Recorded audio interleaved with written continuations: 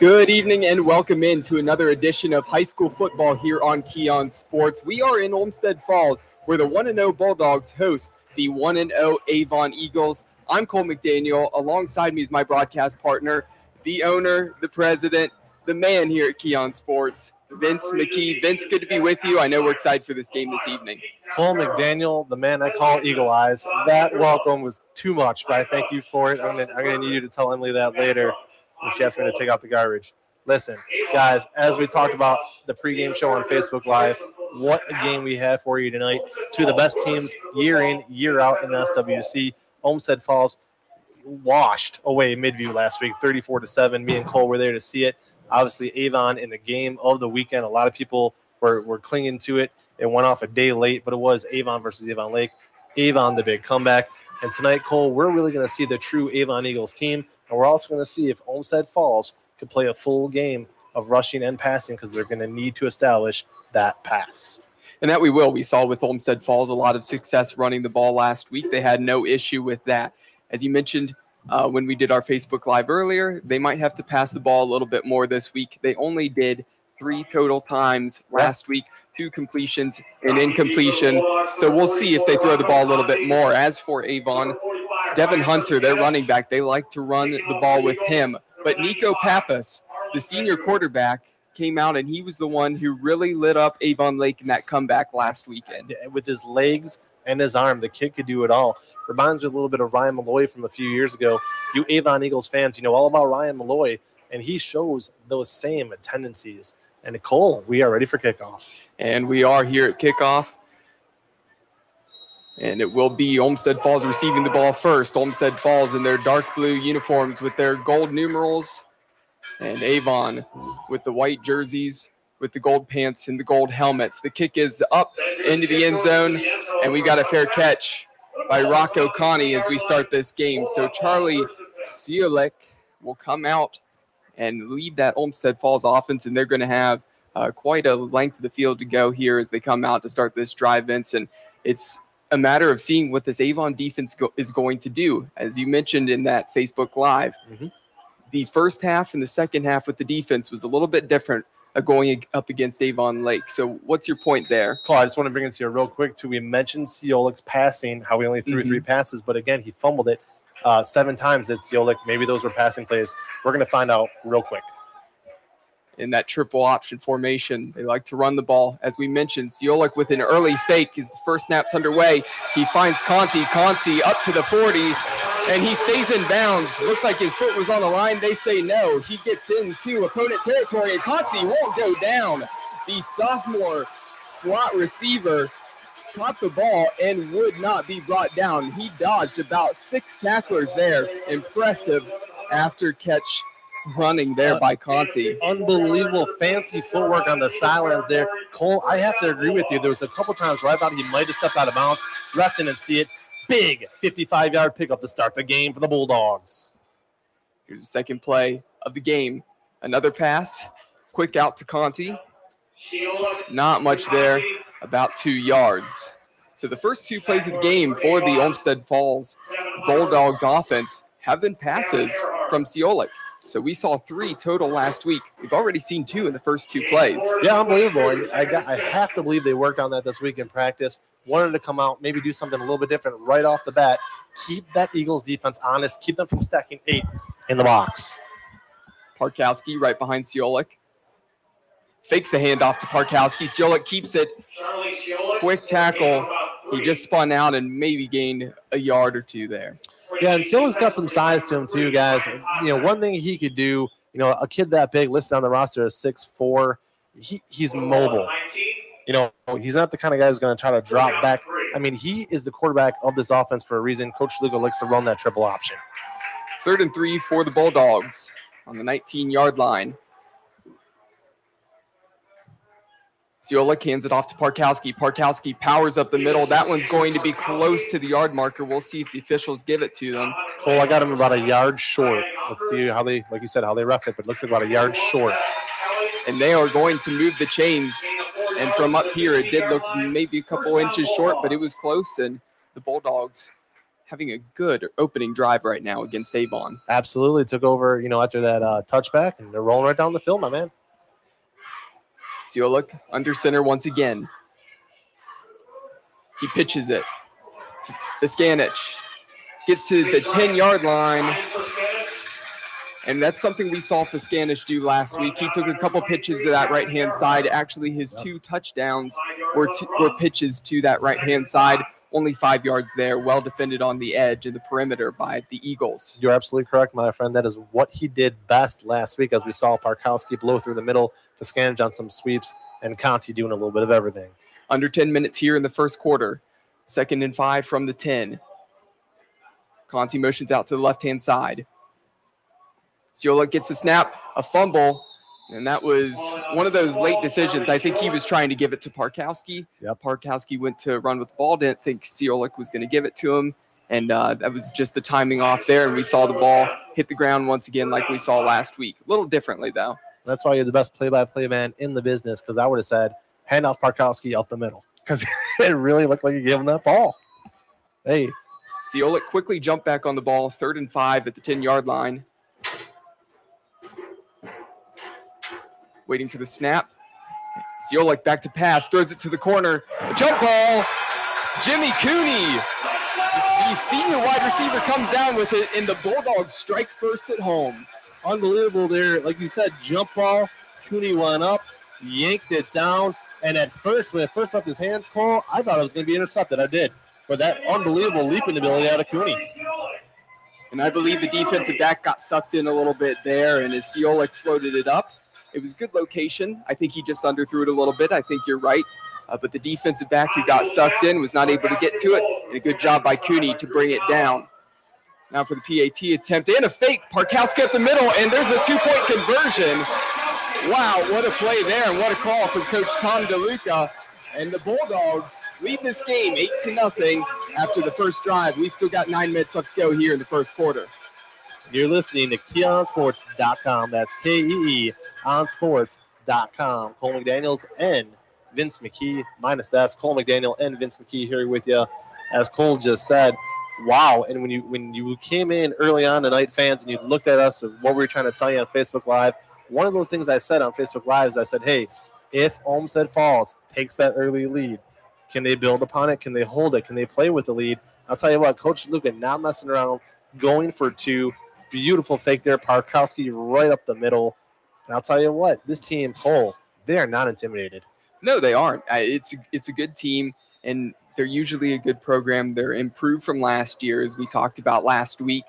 And this is a game where I feel like this could be a very close one. I felt that earlier today coming into this. I just have a gut feeling this is going to be a tough and close game. So that touchdown was going from left to right on our radio dial, and now the kick would be down going the opposite direction, which means Avon will be coming from the right to left here on our radio dial. And we have number 18, Drew Kanaba, to kick and ready to send this one away. And that one, a low line drive off to the far side of the field. And that one's going to skip out of bounds around the 10 yard line. And an illegal procedure will come out. Avon will come out with the football. Again, Nico Pappas is their senior quarterback. He leads the offense. Had a really big game last weekend versus Avon Lake in their comeback win. Devin Hunter, the senior running back, also a guy to watch out for, a guy that they really like to power the ball up the middle with. Uh, he's a star running back, and we'll see how much Avon uses him or if they're going to try to go quickly to the passing game and try to cut back into this deficit they're facing early in the game. Absolutely, something that you know we're going to watch for right away. And here we are in formation with four spread. Pappas takes a snap. He drops back. He's looking down the field. Pressure by the defense. Fans wanted to hold, and he's able to complete the pass up to Cam Erskine, the senior wide receiver.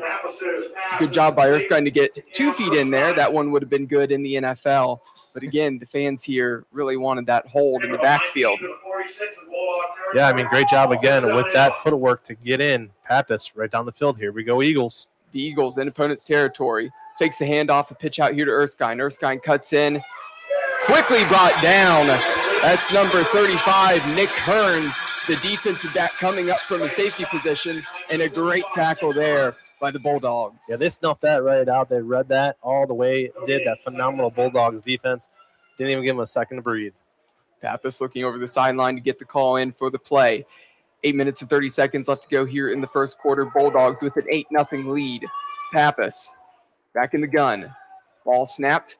He drops back, looking deep. Nobody there. He's got to scramble, and he's going to get maybe a couple yards there. It looks like the official on the far side gave him an extra yard or two, but the near side official corrected that, and it's a gain of four.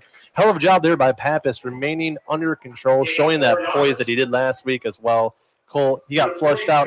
Unlike Ethan Surdock last week, he did not go down. I mean, he just kept going straight, found his way through that line. Yeah, and the one thing is the Bulldogs' defensive line was much more physical than Midview's offensive line. Avon's got some more size here tonight. Expect them to do a better job of protecting their quarterback.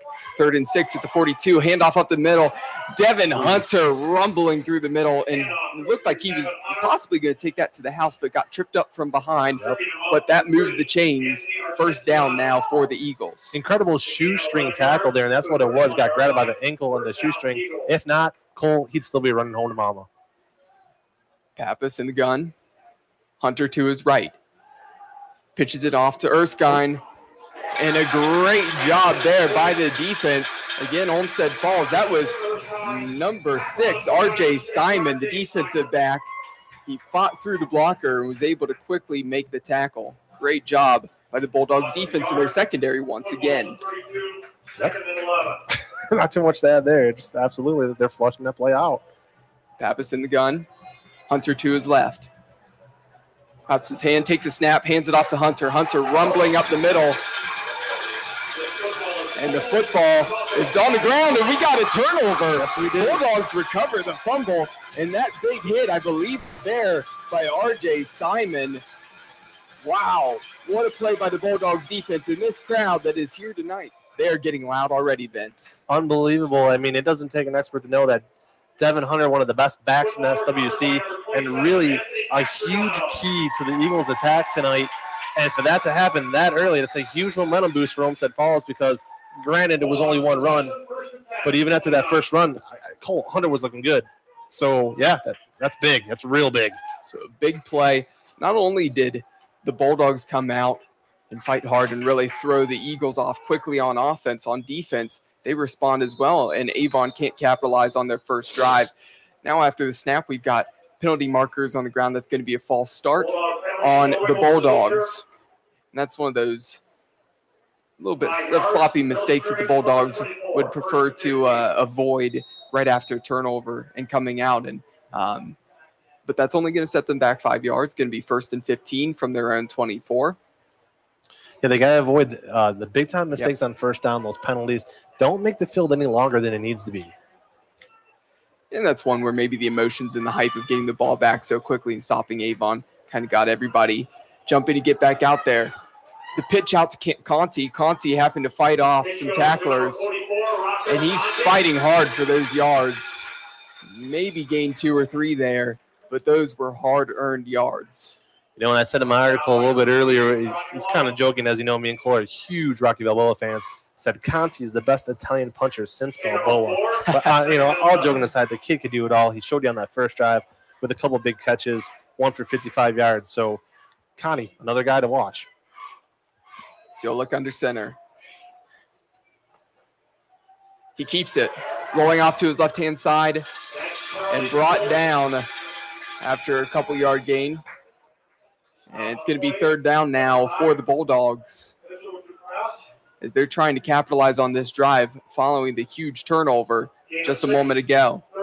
Yeah, Eagles uh, turned it over elsewhere right now. Avon Lake up 7 0 early on against Berea Mid Park. We have our guy, Mark Thies, there for that one. Follow that recap later tonight.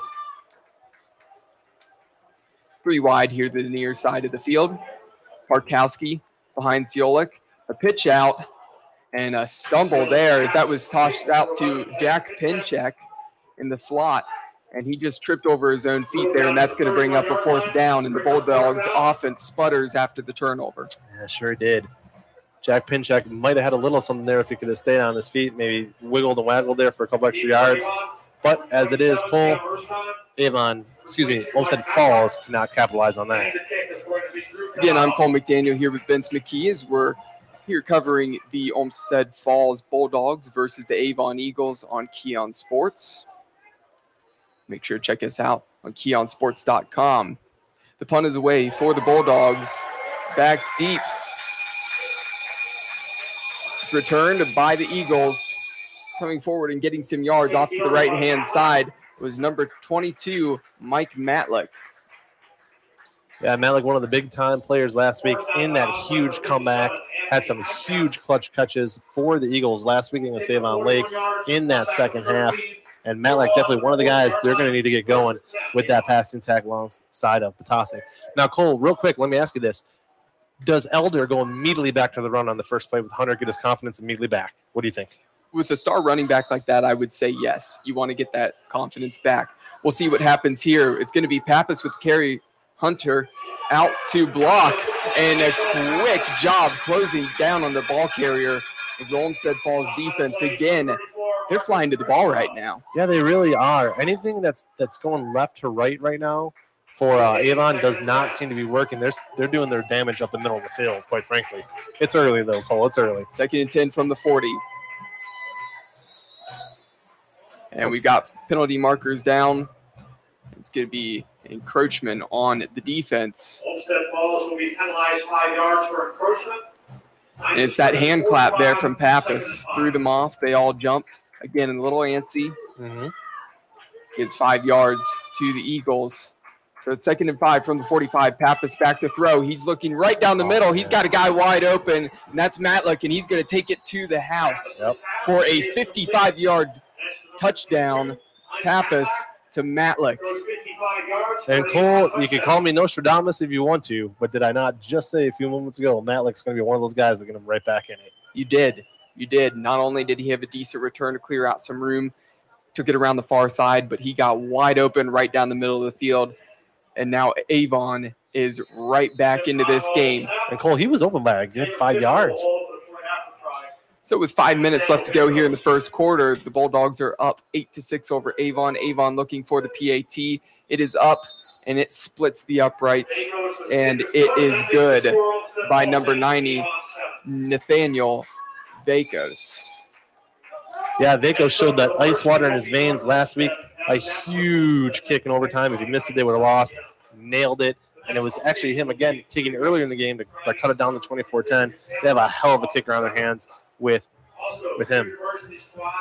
So to recap our drive so far, we've had four in total here in the first quarter. The Bulldogs quickly came out. They were able to put a touchdown on the board as well as a two point conversion to make it eight points.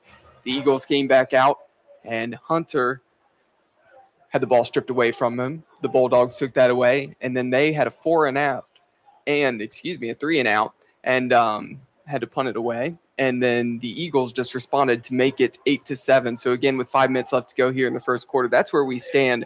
The Bulldogs here at home with that eight to seven lead.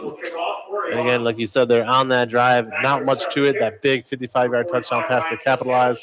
Before that, they went backwards. So again, quick strike offense. They can do whenever they want, it appears. It just seems like both of these teams are matching each other's energy levels at the moment. If this continues, we're going to be in for a good one here tonight. Vakos with the kick away.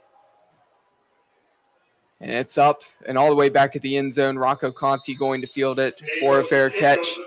And the Bulldogs offense will once again come back out from the 20 yard line, just where they started on that first drive, where they went the length of the field early in the first quarter.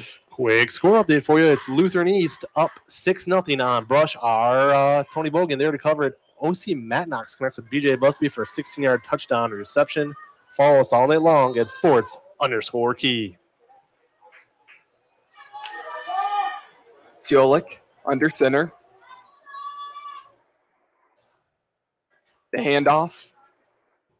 And quickly surrounded. Inside handoff goes to number 29, Michael Cando. That was number 29, Michael Cando, a slot receiver who took the carry, but quickly surrounded, got a three yard gain that will set up a second and seven from the 23. And Cole, they are deep. You know, we're going to see pinch at Pinchek, Indo, Fiscanish Conti, Ciolik, Parkowski. Even Vormelker is going to get some carries tonight. DeLuca said it in the pregame. They're going to run a lot of backs. Siolik back to pass. He's got Cooney wide open. Can he find him? He floats it, and he threw overthrew him by about three or four yards. And I do have to say, as Cooney was looking back, it looked like he wasn't running full speed because he was trying to look back so far. So He was if tilted. if Cooney would have continued running, he probably could have caught that and taken that to the house because he was wide open. Missed opportunity by the Bulldogs. Nobody near him on that play, Cole. Like you said, I'd, I'd, I'd be a little more generous. I'd even say maybe five or six yards away from the nearest kid. If he catches that, a little bit of both there, though. Sealick definitely overthrew him. But yeah, you, you're right. He slowed down for a brief second and it cost him. Siolik rolling to his left, looking to the pass. He floats it, and a great catch there by Ethan Williams, the senior wide receiver. He's able to get his fingertips on it and pull it in, and that moves the chains. A first down now for the Bulldogs. And Cole, we're getting our answer, our answer early and often tonight. Will Olmsted th- Falls throw the ball? Can they throw the ball? The answer, yes, they can. Yes, it's an unconventional way that they do it. It is that triple option. You think of teams in college, Georgia Tech, uh, Army, Navy. You think of some of those schools, and they're used to doing it. But this is a team that not only can run it well, but they can pass as well. Siolik takes a snap. He is able to make a move as he steps to his left, fights forward for a couple yards. That makes it a second and five from the 44. And a good job there by Sealick to keep those legs pumping, breaking through that initial tackle. This is a kid, as we said, six four on the roster, and he can move for a big man. Three minutes and 40 seconds here in the first quarter. Bulldogs still with an 8 7 lead over the Avon Eagles. Golick takes a snap. He hands it off to Parkowski and quickly wrapped up by the Eagles defense. And that was Mike Matlick who came in for the tackle, was able to get him. He has been a big factor right now for the Eagles as he just scored that touchdown. And here he's making tackles tonight. And as I had written earlier this week, Matlick, one of those guys, both sides of the ball, Cole, He can do it all. plays about 95% of the game. That's why he gets the headlines. Siolik pitches it, and we got some room to work, and that was pick Pincheck, and he was able to get the first down. Good job by Pincheck to keep himself in bounds, not step out of bounds, and was brought down after picking up the first down. So again, when the Bulldogs start from their own 20, they seem to have no problem moving the ball right now. No doubt about it. And now we look at it too. Again, Pinchek, Kandow, Fiskanich, Conti, Sealick, Parkowski have all ran the ball. You're listening to high school football here on Kee On Sports. You can check us out on keeonsports.com. Bulldogs have the ball. They're now in Eagles territory. And that was Siolik. He handed off to Parkowski up the middle and quickly stuffed. Not much running room for Parkowski yet tonight, but he did take the snap. Uh, he was the holder for that extra point attempt. He was the one who was able to run it up the middle for the two point conversion. But in the flow of the offense, not much running room up the middle right now. Last week too, you know, Parkowski had two touchdowns last week. When you, when you, when you look at that stat sheet and you were here like me and Cole were, it wasn't the best of games just yet. Siolik takes the snap, rolling to his right. A quick throw and nearly intercepted. It, it looked like Siolik thought he had Ethan Williams wide open. He had an on-looking defender there, nearly picked off, but Williams able to get his body in there. That's when the wide receiver plays a little bit of defense. Absolutely, very very dangerous though there by Sealick. He is lucky he's not asking for that one back right now. Could have been a pick six. Third and eight from the Eagles, 39. Just over two minutes to go here in the first quarter. Siolik under center. Going from left to right. Quickly oh. pressured, and he throws it straight into the arms of number 35. And that was Trevor Norman. Norman nearly had the pick. It looked like he was going to be able to pull that one in for the Eagles. Instead, it's going to be a punt, and uh, the Bulldogs are going to try to pull pin the Eagles down inside the 10. Yeah, and after that hot start where he hit passes of you know 55 yards and the 15 yard touchdown, his last offerings minus a yard, incomplete, 17, incomplete, incomplete. Snap away, and the punt's away. It's going to sail into the end zone, And the ball going to be brought out to the 20 as the Eagles are going to start their drive and look to take the lead for the first time tonight over the Bulldogs. Yep. Also, we'll remind everybody right now on Kee On Sports Elite, it is North Olmsted at North Ridgeville. Our guys, Mike Rogers, Brandon Soder-Penner, and Jeff Lamshire on that call. Early on in that game, Anthony Gershio with the QB keeper from four yards out puts North Olmsted on top, 7 0. They lead Ridgeville again early on in that first quarter. So on the last drive for the Eagles, they were able to get seven points. Pappas found Matlick over the middle of the field. We'll see what the Eagles do when they first come out. We'll see if they give the ball to Hunter or if they go right back to the passing game and see if they can get another quick touchdown.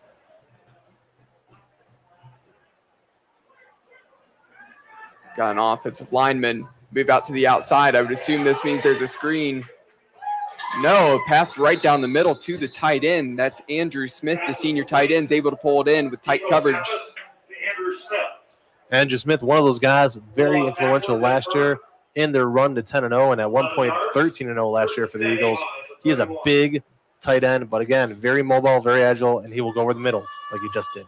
On that first down play, that picks up another first down for the Eagles. Ball on their own 31 yard line. Pappas hands it off up the middle, He was with Devin Hunter. and not much room for Devin Hunter to work there as the Bulldogs were able to close in and quickly tackle him after a four yard gain. Gain of four yards. And for Hunter, that was his first carry since the fumble.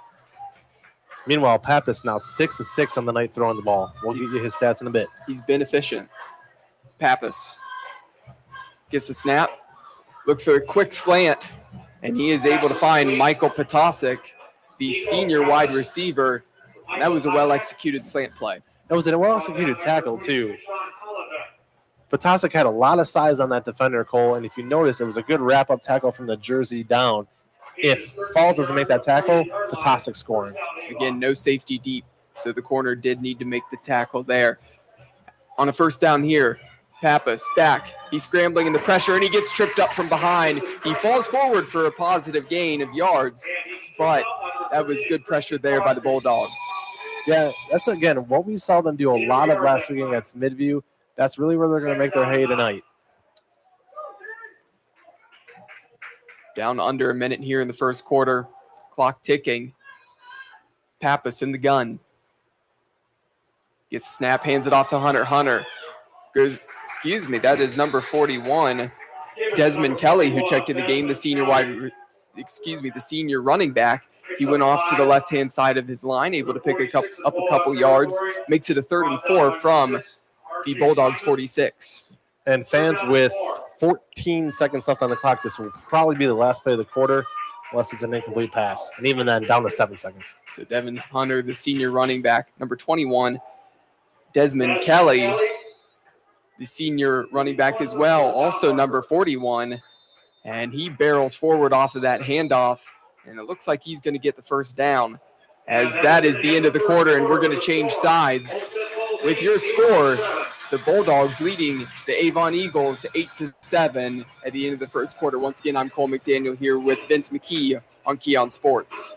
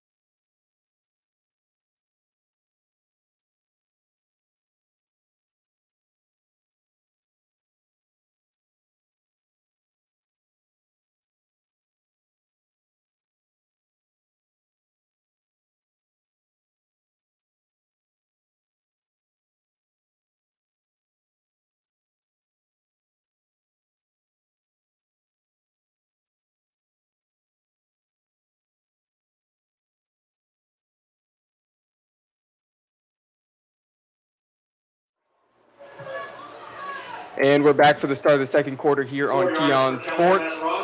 The Olmsted Falls Bulldogs leading the Avon Eagles 8 to 7. Avon coming out operating with a first and 10, the ball on the 42 yard line. If they're driving, and have now entered Bulldogs territory.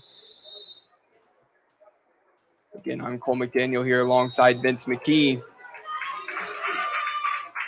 And Vince will be giving you score updates from other games. Avon Lake around 14, Berea 0. Pappas finds his receiver on the slant. That's number 11, Aiden Hanna. And that's going to get another first down for Avon, and they're steadily moving the ball right now.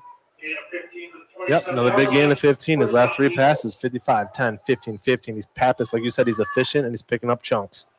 Pappas with the hand up off, and Desmond Kelly stuffed. He got hit and driven backwards, but was able to fall forwards after getting hit. So he picks up two yards, second and eight, now at the 25 yard line. Head coach of Avon, Mike Elder, taking the page of the out of the Olmsted Falls playbook tonight using multiple backs, as it looks like Kelly's in there again, Cole. Pappas with Kelly right behind him. Takes the snap, fakes the handoff, looking to throw. He's got time. Fires to the far side of the field, and that one low. He was looking for Erskine, but that one was incomplete in tight coverage there by the safety, Nick Hearn. Yeah, for Pappas, his first incomplete pass of the day. I'll tell you what, Cole, wouldn't have shocked me there right now if he would have took off with that? He had all day.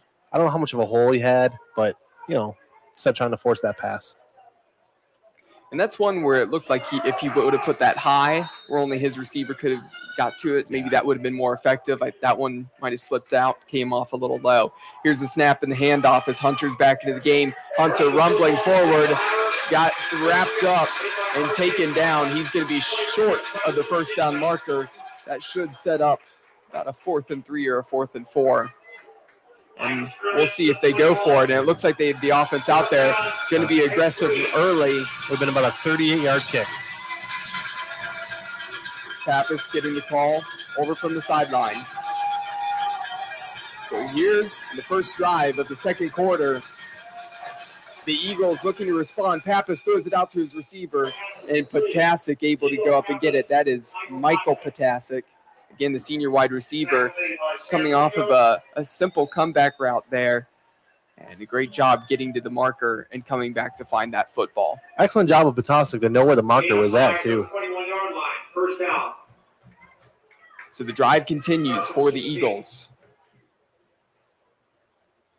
Pappas rolling to his right. Hunter, lead blocker for him. Makes a move, cuts inside, and that move picks up an extra th- three yards for him, and he is down inside the 10. Nico Pappas doing it all in the night, and this is where he's the most dangerous. We saw it last week against Avon Lake. We saw it last year in the relief of Danny Zay when he played. The kid could absolutely do it all here in the red zone. Watch out for Pappas to take off with it here, Cole. After that gain of eight by Pappas, it sets up a second and two from the eight yard line. Pappas to throw, and he had Michael Potasic in the end zone, but not able to find him. Excuse me, Potasic. He was looking for him in the end zone. Was not able to find him after the tip ball there by the Bulldogs. They live to see another day here as they're trying to hold out the Eagles from getting into the end zone. So third and two from the eight yard line. Pappas hand off to Hunter. Hunter barrels forward, and that is going to pick up the first down and set up a first and goal for the Eagles. And on that second down and two play, too, they had the whole playbook, you know, available to them. And look, here we go again. They're rushing to the line, Cole. Vince, you're right. Quickly back to the line. A little bit of hurry up offense right now. Pappas hands it off to Hunter. Hunter barreling forward, and that is a touchdown for the Eagles. And they take their first lead of the night. That makes it 13 to 8. And they'll send out their special teams unit to try to make it 14. So the five yard touchdown by Hunter, making up for his earlier fumble. And now here we go with the Eagles, 13 unanswered. And as we had said early on, Olmsted Falls, could they play with the lead? They've already given it up. Let's see where we go from here. Nathaniel Vakos looking to capitalize on the PAT. It's up, and he splits the uprights. and that makes it 14 to 8 in favor of the visiting Eagles. We've got just over nine minutes left to go here in the second quarter. You're listening to KeeOnSports.com. That's K E on Sports.com. We are accepting sponsorships for the rest of the season. If you have a small business and you want your sponsorship 30 to 45 second commercial read throughout the game and at halftime, email me, Vince McKee, at CoachVin14 at yahoo.com. Again, you're listening to Kee On Sports with Cole McDaniel and Vince McKee. And as we come back out here, it's going to be the Bulldogs now looking to respond as they are facing a deficit for the first time here tonight as the host team against the Eagles. Both teams coming into this matchup at one and one. And fans, fans, real quick, speaking of halftime, it is going to be 20 minutes long. We're going to try to get you some scores from around the area during that halftime. Talked about some sort of sponsors. And uh, yeah, 20 minutes again this week, Cole. Yeah, and that's something that we weren't sure what was going to happen with the new the new schedule. We had heard that with you know the visiting bands not coming anymore, we heard that uh, it was going to be shortened. But two weeks in a row now here, uh, it's going to be 20 minutes. The kick is away by Vacos. Conti back to return. He fields it right at the goal line. He runs it out. He's got some room. He's past the 30, past the 35, and going to go down at about the 37 yard line. Great job there by Rocco Conti. Score update for you. Brush Athletics seven, Lutheran East six. It looks like a touchdown as Brush responds with the scoring drive of their own. AJ Short connects with Antoine Woolfolk for a 14 yard touchdown catch. Thank you, Tony Bogan, for that. Brush seven, Lutheran six. Ciolik keeps it, rolls off to the right hand side, falls forward for a gain of three. That will make it a second and seven as he is now at the 40 yard line. Nine minutes to go here in the second quarter. And since that first drive that the Bulldogs had success, the Avon defense has been able to respond. They've given up some yards, especially after that last drive, the one previously. But the Bulldogs, once they got into Eagles territory, had to punt the ball away. Ciolik takes a snap, rolls off the left hand side. He throws it down the field. He's looking for Conti, a diving Conti, and he pulls it in at the 31 yard line. Great job rolling out by Ciolik, throwing a ball where only his receiver could get to it. And Rocco Conti, for a second week in a row, has been performing well. Unbelievable out of Rocco Conti tonight. Like I said, doing a little bit of everything. Had a catch earlier tonight for 55. That one goes for 25. And Rocco Conti, the whole show tonight. Ciolik pitches it to Pinchek. Pinchek to the right hand side, quickly brought down by a host of tacklers. And that was a swarm of yellow over there on that far sideline. And Cole, I want to point something out real quick. The only thing that pass did just now, Ciolik to Conti, is it, it's going to give him his confidence back. He was a little rough there. You know, one out of his last five. That one reception was actually for minus yardage. So what that's going to do for Ciolik, it should work wonders moving on with the rest of this drive. Parkowski behind Ciolik. Haven't seen too many carries by Parkowski lately. Ciolik throws it out quickly to number four, Ethan Williams. Williams quickly wrapped up. So after that big gain and completion to Rocco Conti, two plays that didn't go anywhere for the Bulldogs, and now they're facing a third and long. They're trying to pick up a first down and trying to get back on the board and hoping to take the lead back from the Eagles, who have really responded well after giving up that initial touchdown. Elsewhere, Walsh Jesuit 10, Holy Name 0, and Midview, we saw them last week. They lead Amherst 14 to 10. Seven minutes to go. Third and 10 from the 31. Ciolik. He's got two to his right, two to his left. He's rolling. He's rolling. Pressured from behind. He's got to throw it. He's able to find his receiver. It's pulled in for the gain. And we'll see if Carson Atkins, the wide receiver, was able to stretch and pick it up. So it looks like we have a penalty marker down on the far side of the field. We'll see what the officials. Really, our second or third flag of the night. Yeah, not too many flags from the officials tonight. Ooh. And that is going to be a personal foul against the Eagles. So that automatically gives the first down to the Bulldogs. And it looked like they were close, but going to be just short.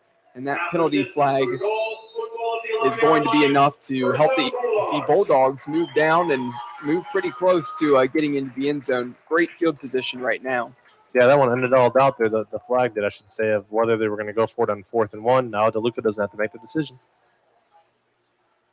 But the Eagles with their backs against the goal line. Siolik takes it, and he gets close to the end zone, and the official shakes his head. That is going to be a touchdown for the Bulldogs. Great read and great keeper there by Siolik, and that is going to tie up this game. And the Bulldogs now looking to once again reclaim the lead here at home. And Cole, he got popped. You saw him just get snapped at the end of that play. Great job Siola with the football.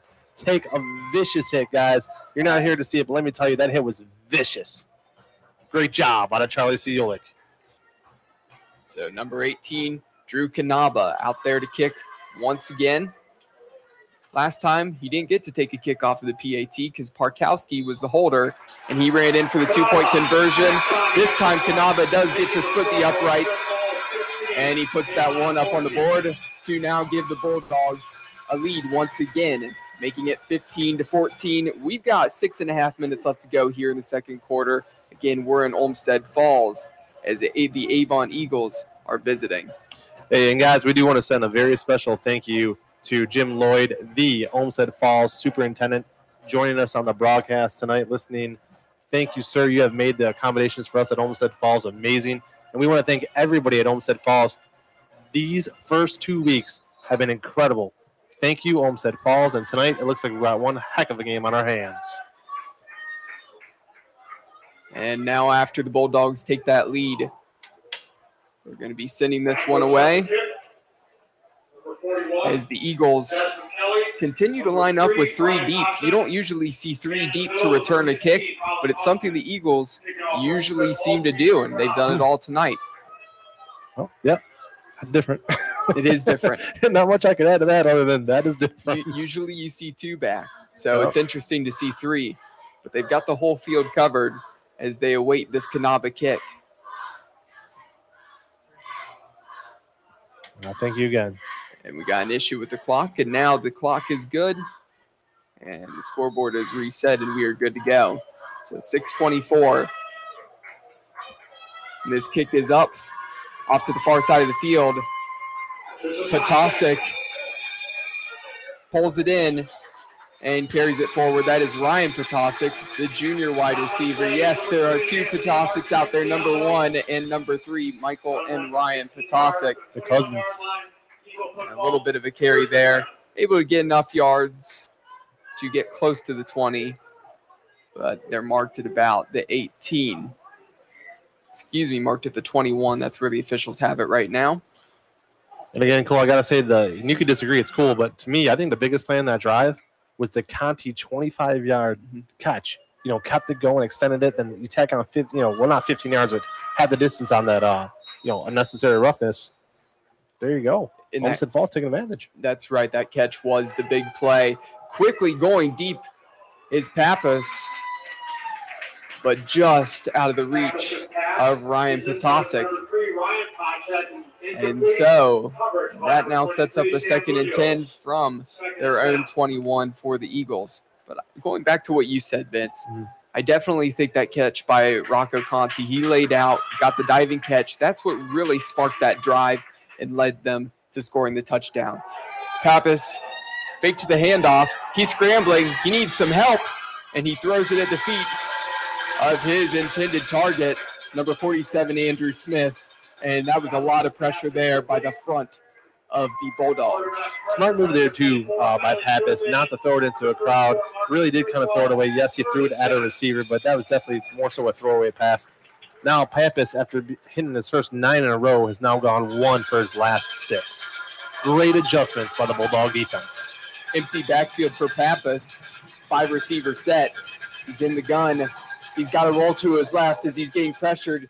He looks for his oh, right, and it's intercepted. That is number 35, Nick Kern. And Nick Kern gets down inside the 15. It looks like they're going to spot him about the 12 yard line, and he jumped that route by the tight end, number 47, Andrew Smith. And I don't know, Pappas just might not have seen Hearn What another outstanding play by the Bulldogs. Unbelievable. Cole, they continue to make those one-on-one plays. They have phenomenal wrap-up tackles, phenomenal one-on-one coverage. They're doing what it takes to win. They're doing what it takes to upset one of the best teams in the state. Right now, early on, my head is off to that Bulldogs defense. The adjustments real quick. Now, one for his last seven with an interception on Pappas, who early on was torching them. So that is the second turnover of the day for the Eagles. The first one was a fumble, and that one an interception on this first snap on this first down. Ciolik rolled out to his right hand side, couldn't really find anybody easily, but he was able to find Conti for a short completion. That puts the ball on the eight yard line, makes it a second and six. Four yards to the eight-yard line, second down and six. So last time we saw the Bulldogs in a similar position like this, Ciolik had a keeper going to the left-hand side and was able to go into the end zone. This time he hands it off up the middle. Not much room there as that was number five, Clay Vormelker, the fullback into the game. He's a junior. And so that just cleared out enough room to get it to the six, making it a third and a four. So still four yards to go to get this third down. But in this territory, in this type of a game, I see this as four down territory, wouldn't you, Vince? Absolutely. I mean, I got all the fifth in the world in Canabo, but if you could really put your your foot on the throat of Avon, do it. Go for it. Ball floated to the back corner of the end zone. A lot of contact there. Ooh, I would have threw the flag. Yeah, and and here's why I think the officials are going to let that one go. I think that was an uncatchable ball. I- Okay. I, think it was way out of the back of the end zone and overthrow. I think if there was more of an opportunity there for Cooney to get to it, then maybe they might have thrown the flag. You talked me into it, bud. I'll say uncatchable.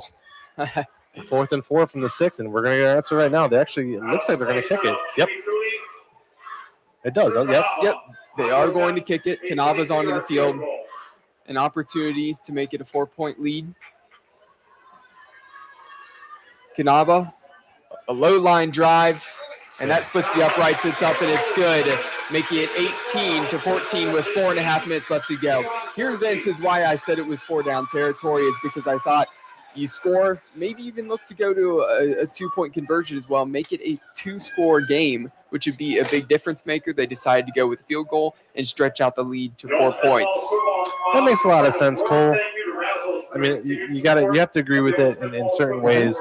No, but here I'll say this: early on in tonight, Olmsted Falls was unable to capitalize off the Devin Hunter fumble. Yep. They learned from that. They got another gift just now with the interception. What do they do? They capitalize. They got some points out of it. They did, and points are always important. That's how to win this game. So that's a big thing for the Bulldogs. Again, I'm Cole McDaniel here alongside Vince McKee. We're excited to be bringing you high school football once again for a second week in a row, and we're excited to continue to bring you this season on Friday nights. The Bulldogs set to kick it away. It's Kanaba who just converted on the field goal. He steps up for the kick. This one, another low line drive. This one right down the middle of the field. Quickly returned by number 16 of the Eagles, and that is Colin Kaufman.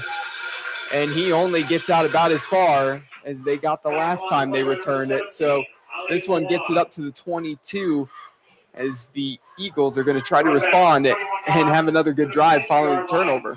Some quick scores for you guys. It is St. Vincent St. Mary leading Benedictine 14 to 10. We have Columbia up 14 13 on Clearview. North Olmsted, as we said, up early on. North Ridgeville 14 nothing. And real quick, Avon Lake 21, Berea Mid Park 7. And just a reminder at halftime, we will continue to update you on scores around the area. The Eagles with possession of the ball, an early handoff to Hunter here. He takes it, breaks a few tackles, and nearly gets up to the first down marker for about a gain of eight or nine. Nine yards on the run, second They're going to say it's nine yards, second and one. Ball on the 31. I would expect to see another handoff up the middle, and it is. And Hunter barrels forward, and he's able to pick up that first down. Tacklers were trying to keep. Still a one score game here at 18 14. No need to panic for Avon going into the half.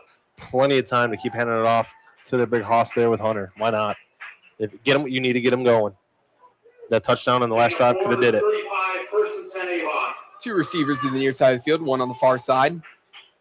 Hunter to the left of Pappas. The snap under the gun. A fake. He throws it down the field, and he finds Potasic, and it's incomplete. Michael Potasic was wide open, and down that over the shoulder catch, it just slipped out of his hands. He was wide open, like you said, and it was a good pass. Not much more to add to it than that. I mean, it was right in his hands, Cole. He might have saw the open field ahead of him because if that's a catch, that's a touchdown. That's when youth takes over sometimes. So Pappas hands it off to Hunter. Hunter dodging a couple tacklers. He's got room up the middle. He's barreling towards the end zone. Can he get a blocker? And he's not going to need it. He's going to walk this one into the end zone untouched. Hunter, all it took was vision and patience. And as soon as he cut back and found the middle, he was gone for a big touchdown. And the Eagles once again reclaimed the lead. Yeah, absolutely. Good cut there, too. He cut it about the 32 yard line. He was running straight, saw a defender, did a little cut to the left. Not sure he couldn't have barreled through it anyways, but still, good open field vision there. And like you said, man, giving the Eagles the lead, 2018. Plenty of time on the clock still for the Bulldogs to try to respond as they will get the ball back. But first, the Vacos kick is up and it's good and making it 21 to 18. So three and a half minutes for the Bulldogs to work with to try to take the lead before going into halftime. And again, here on Kee On Sports, I'm Cole McDaniel alongside Vince McKee. We're really excited to be bringing you all this coverage this fall. We, we were waiting around all summer, waiting to see what would happen. I'm sure everybody was waiting to see what would happen with football season. A lot has changed. The NFL is about to start here in the next week. Uh, we're also seeing college football starting here soon. Is tomorrow really the first big college football Saturday? As there's going to be some games happening tomorrow. Who's playing? I know there's a couple. I, I don't doubt you. I just- I- here's the thing. You just made my heart flutter by saying there's football It's, tomorrow. it's confusing to know who's playing because we got a bunch of little schools right now too. We've had like Central Arkansas, a couple games like that on TV, but we are getting some football here coming soon. Uh, this would be the first big one of the week, and again, this is the week that the Big Ten would have been starting. Big Ten not playing right now, but hearing rumors that possibly could be coming up in October, Nove- November. We will see what happens.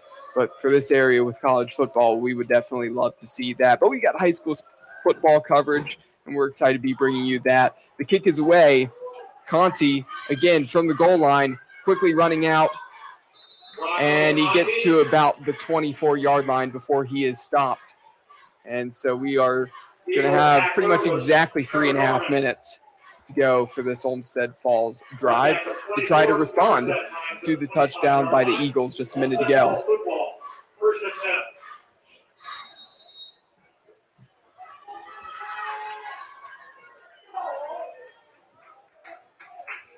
As the Bulldogs come out, Seelick under center.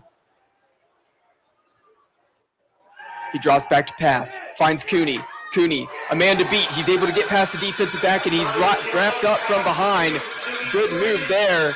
And as soon as Cooney pulled that one in, he got his eyes upfield, made the defender miss, and got 18 yards out of that catch. Great play. And we've got an injury on the field. It is an Avon player down. Looks like he's asking to get stretched, so it might just be a cramp. But with the injury, we are going to take a quick timeout here on Kee On Sports. We'll be right back for more coverage of Avon Lake at Olmsted Falls.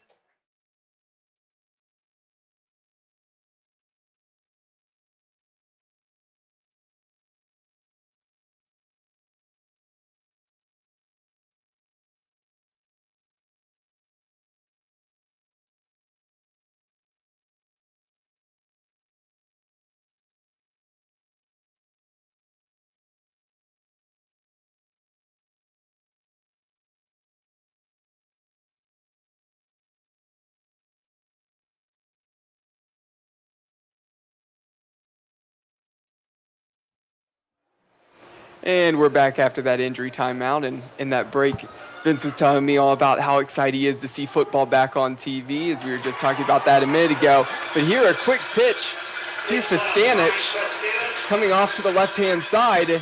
and he's going to get just enough to get the first down once again. And we've got another player down on the field. So right after we came out of that injury timeout, we've got an Eagle down here. Looks like cramps though. Nothing serious, guys. Don't don't get too scared just yet. Definitely looks like cramps. Yeah, and it's a little bit different weather this week. You know, Oh, a little been- bit? They've been practicing. Yeah, I mean, the thing is though, the temperature is nice, but the sun was warm when they came out here and were warming up. Yeah. So it, it is a little bit different. And obviously, preseason was a little different for them. Probably couldn't have the pads on quite as long and as much contact. So you will see some more of the cramps, especially earlier in games, earlier than you usually would see. But looks like the player is up and he will be good to go. And we will be back in action here in just a moment. Some score updates for you while we wait, though. It is Midview now trailing Amherst. Uh, that's uh, Trevor Brzezina out there, Tyler Brzezina, and the Comets now lead 17 to 14 in that one. It looks like Brecksville tied with Hudson at 14 all. And Cole, real quick, I gotta tell you, this does feel tonight like high school football with the sun coming down right now. Mhm. I, I miss the fans. I'm not gonna lie, I miss there being more fans. But last week with that with that torrential downpour, to me it felt like a Thanksgiving weekend kind of game. Just terrible weather. It did. It did feel like an late season game earlier in the year. It was definitely different. So the Bulldogs in opponent territory, and prior to the snap, we have whistles, and is going to be a timeout taken by the Eagles as they're trying to get their defense set up and avoid giving up points here.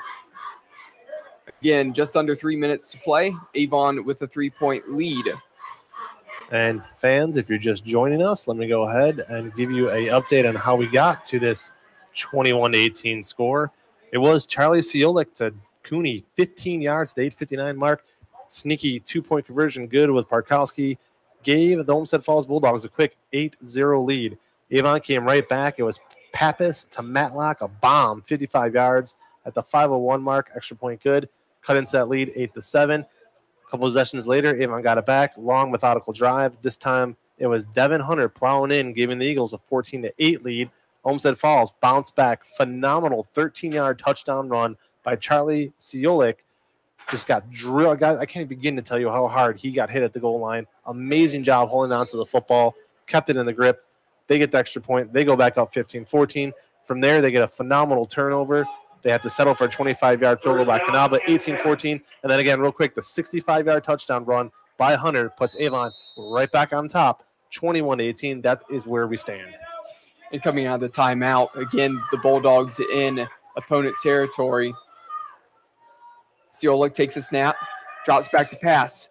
Quick dump off, and that one was low to Pinchek. Pinchek would have had some room to run, but not able to pick it up off of his shoestrings and run with it. So that will be incomplete and set up a second and 10 for the Bulldogs. And Vince, coming into this game, I was so excited today, excited for this one to come up. I just had a feeling that this is going to be a close game. No matter what happens in the second half, we have had an amazing first half in front of us, and it's still not over. Some more things can happen here in the next two and a half minutes. Two, Siolik, two under very well coached teams. very well coached teams. Siolik drops back, looking to the right hand side, fires it down the field. His receiver stopped running, and that one will be incomplete. That was number 29, Michael Cando. I think he tried to come back, think he was going to be a strike there up the field. Instead, Siolik thought that he was going to continue running. So a little bit of miscommunication there between the receiver and the quarterback. Now setting up a third and 10. Again, ball still on the 46. Yeah, they got to find that rhythm again real quick here. You know, they're down in 10, plenty of time left if they don't get this for Avon to get the ball back and score again. So they need to keep possession of this ball, Cole. Siolik rolls out to the right hand side. Well read there by the Eagles. As that was number seven, Kaya Yonkers. As he was waiting for that, he read that the whole way, and Siolik had nowhere to go as that edge was set by Yonkers.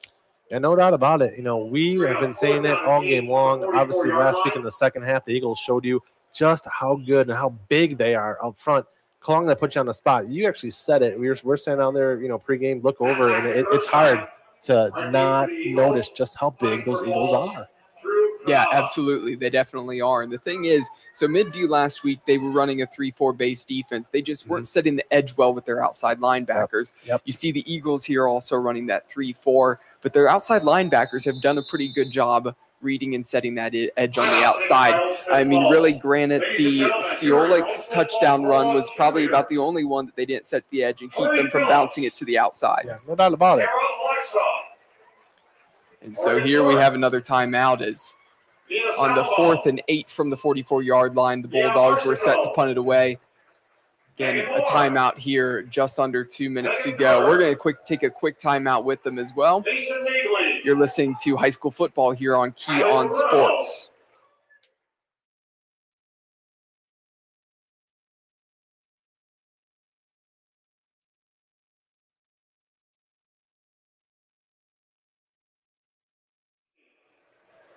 And As we come out of the timeout after that quick break, we've got a punt. It is number 18, Drew Kanaba back to send it away. Scores after this play. Sit tight, fans. I know you want those scores. Ball up in the air. Looks like it's going to fall about inside the 10 yard line. It is caught by number 27, Cam Erskine, quickly taken down. And here it is, Cole. And like we said, we have an entire second half still to, to be played tonight. But in my heart, in my vision, in, in my football, I don't know, instinct, I'm going to say it right now, and you can disagree, and it's cool. But if Avon scores right here, scores a touchdown, that's big. Yeah. Because it's like all that momentum that Olmsted Falls worked so hard to get. Just, I mean, I'm not going to say they completely lose all of it, but you see where I'm going with that point? They just, they cannot let Avon score here. Keep it within one score. Well, with under two minutes left to go, expect the Eagles to go to the air as they're going to have to make up some ground very quickly. Pappas, though, looks to run it as he pulled it back in off of that fake handoff. He's tripped up on the outside, and it looks like that was Hearn once again. And Hearn coming down from his safety spot.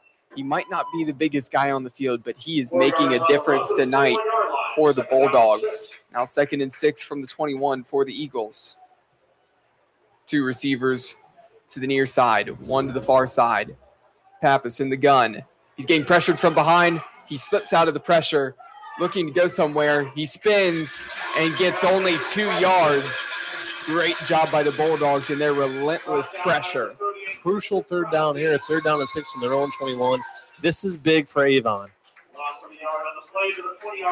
And really, I'll say this is actually bigger for Olmsted Falls. They need to stop them right here. Do not let them score again. One after those two plays that took a lot of time off the clock. Unless the Eagles have a big strike here, it's going to be hard for them to cover all this ground and put points up on the board. But they're going to try to do so as Pappas drops back. He looks for the pass to the far side. Potasic.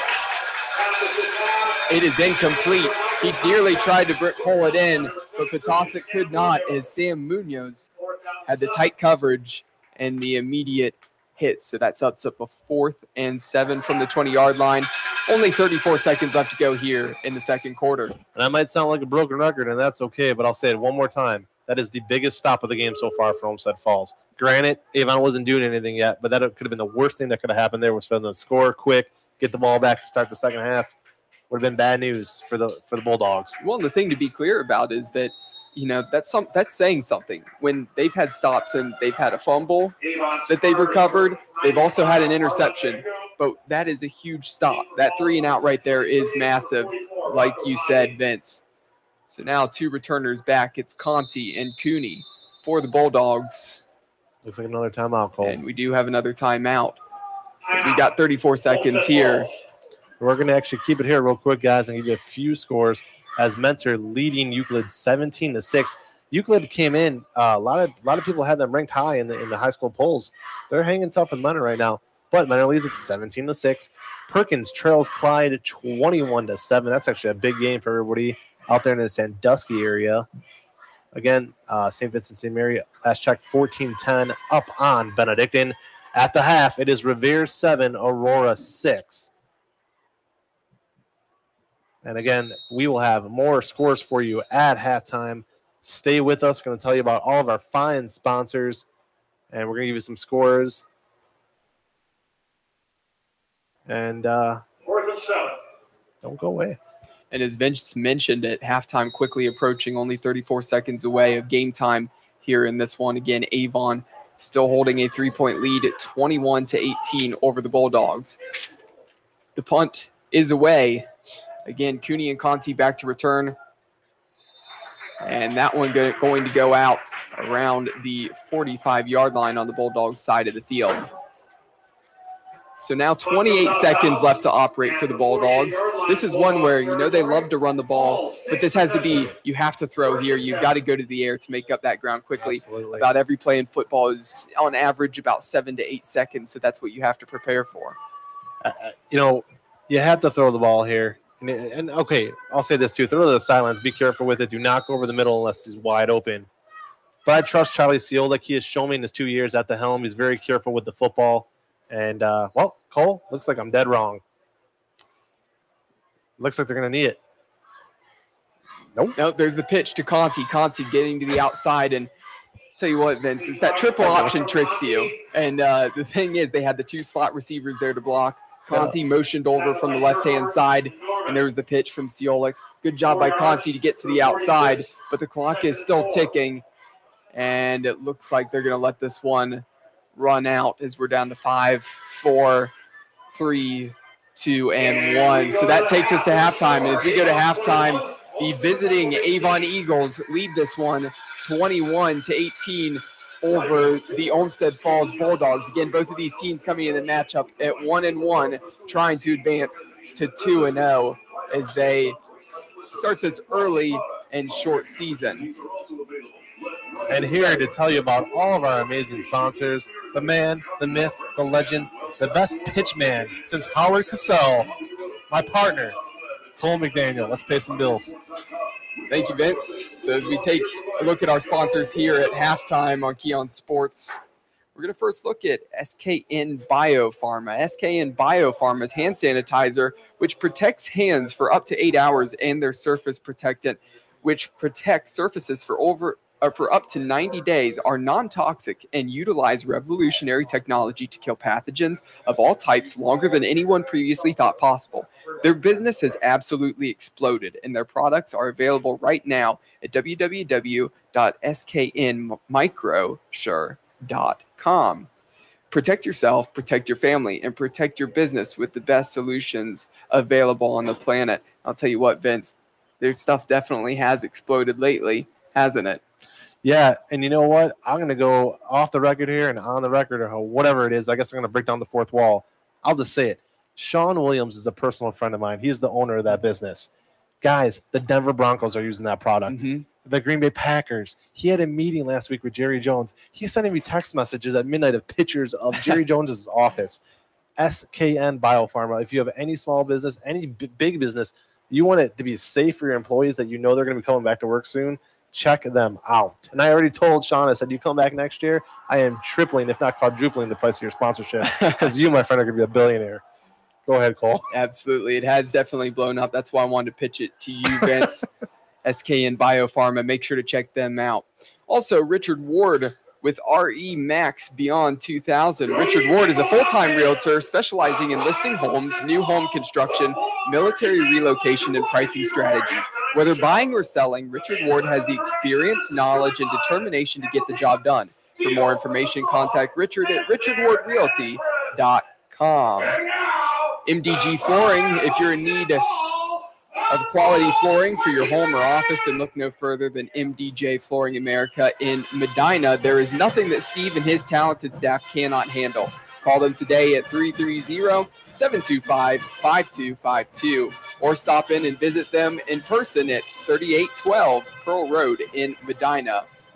Kobos Insurance. Kobos has been serving the Cleveland area for over 50 years.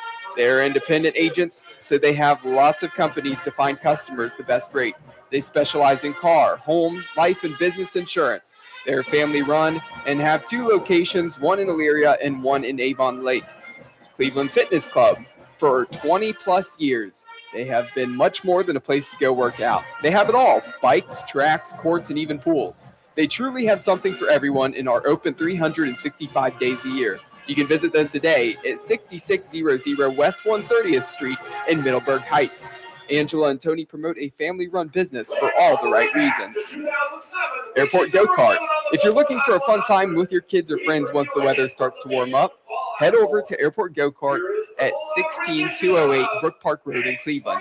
It's fun for everyone involved at a next to nothing price.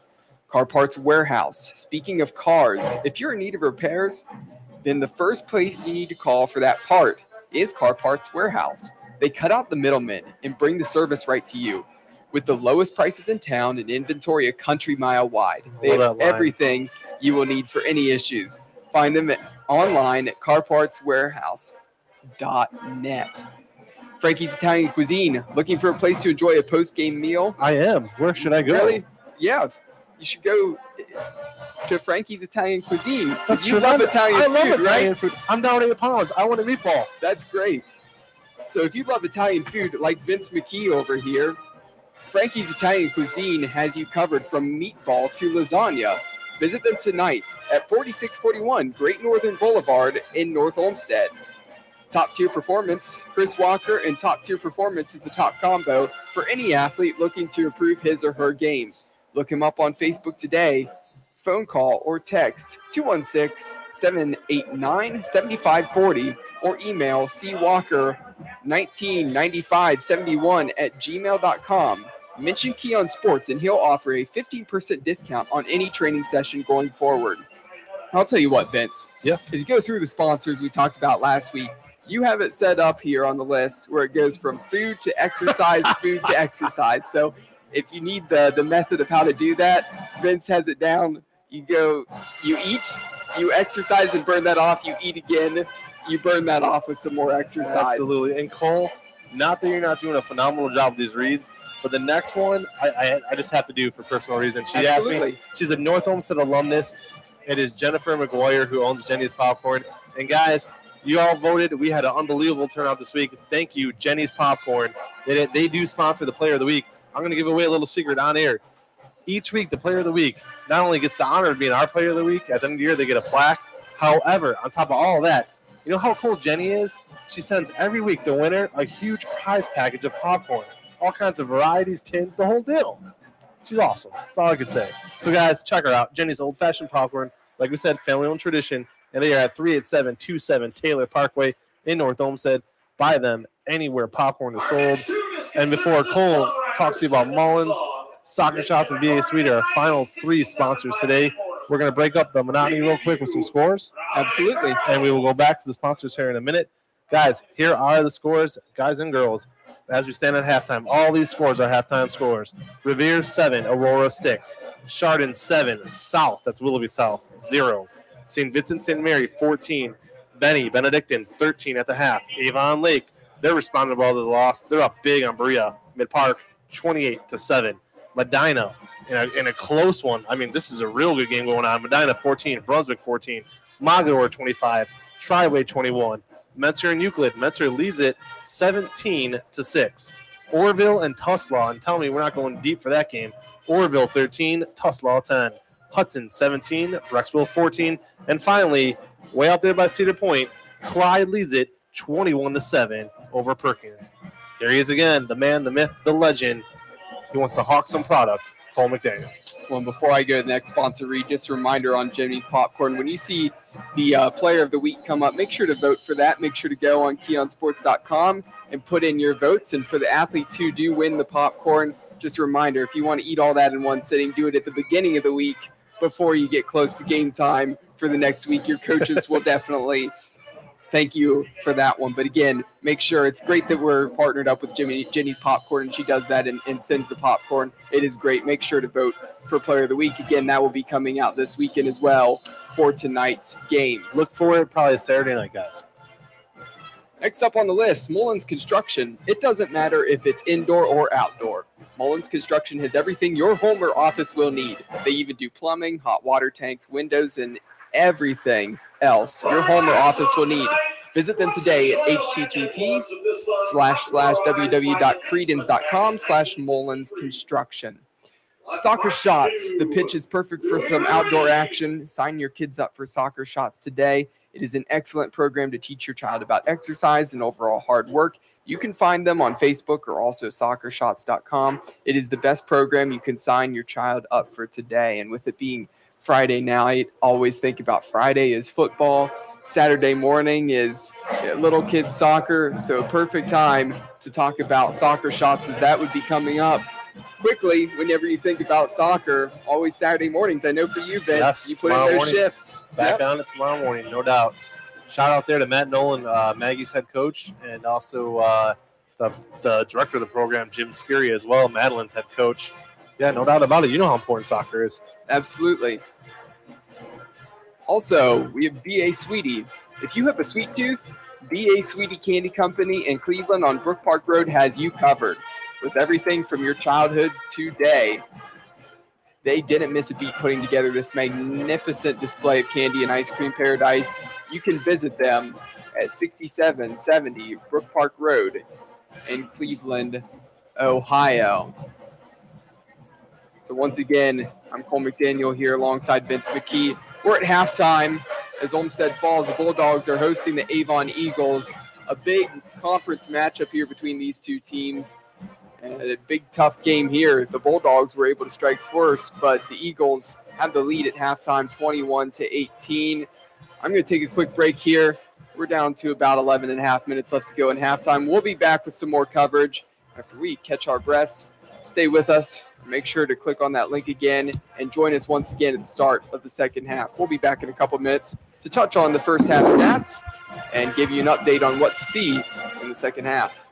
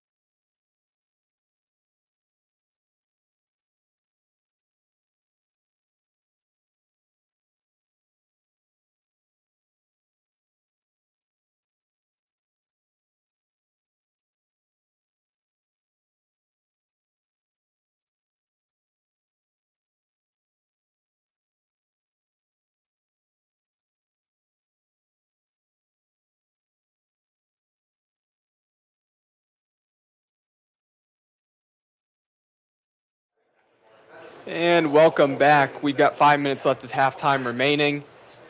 I'm Cole McDaniel alongside Vince McKee. High school football tonight. We got week two action. If you're just now tuning in, we'll be coming out of halftime to an Avon Eagles three point lead over the Olmsted Falls Bulldogs. Again, both teams coming into this matchup 1 0. Two teams that were hoping to move on to 2 0, and it's going to be a hard fought battle to get to that record here in the second half as it has been a tough and close game. Vince, what are your thoughts on that game? Well, a couple things here, you know, before we get to the score recap, I do want to say, you know, on both sides of the ball, it's been a game of flow. Okay. Nico Pappas or Nico Pappas came out, hit 19, 1, 1, 55, 10, 15, 15. Whatever that, you know, one, two, three, that's about nine passes in a row, nailed them right down the field. And all of a sudden, since then, I'm not gonna say the wheels have come off the cart, but it's it's been a rough go. Incomplete, eight yards, incomplete, incomplete, incomplete, interception, incomplete. So whatever Pappas was doing early on in that game in that first quarter, he's got to try to find that here in the second half. As, far as Devon Hunter goes, you know, as I said earlier in the week, as I've said in my article, you know, as we said on the podcast, time and time again, this kid has it. With Nick Perusic no longer around for Avon, they're going to need Hunter to tote that rock 20 times a game at least. He had a slow start, had that fumble. Since then, he's bounced back, had the five yard touchdown. Then he had carries of 9 5 rattling off from there a 65 yard touchdown run. Big play from him.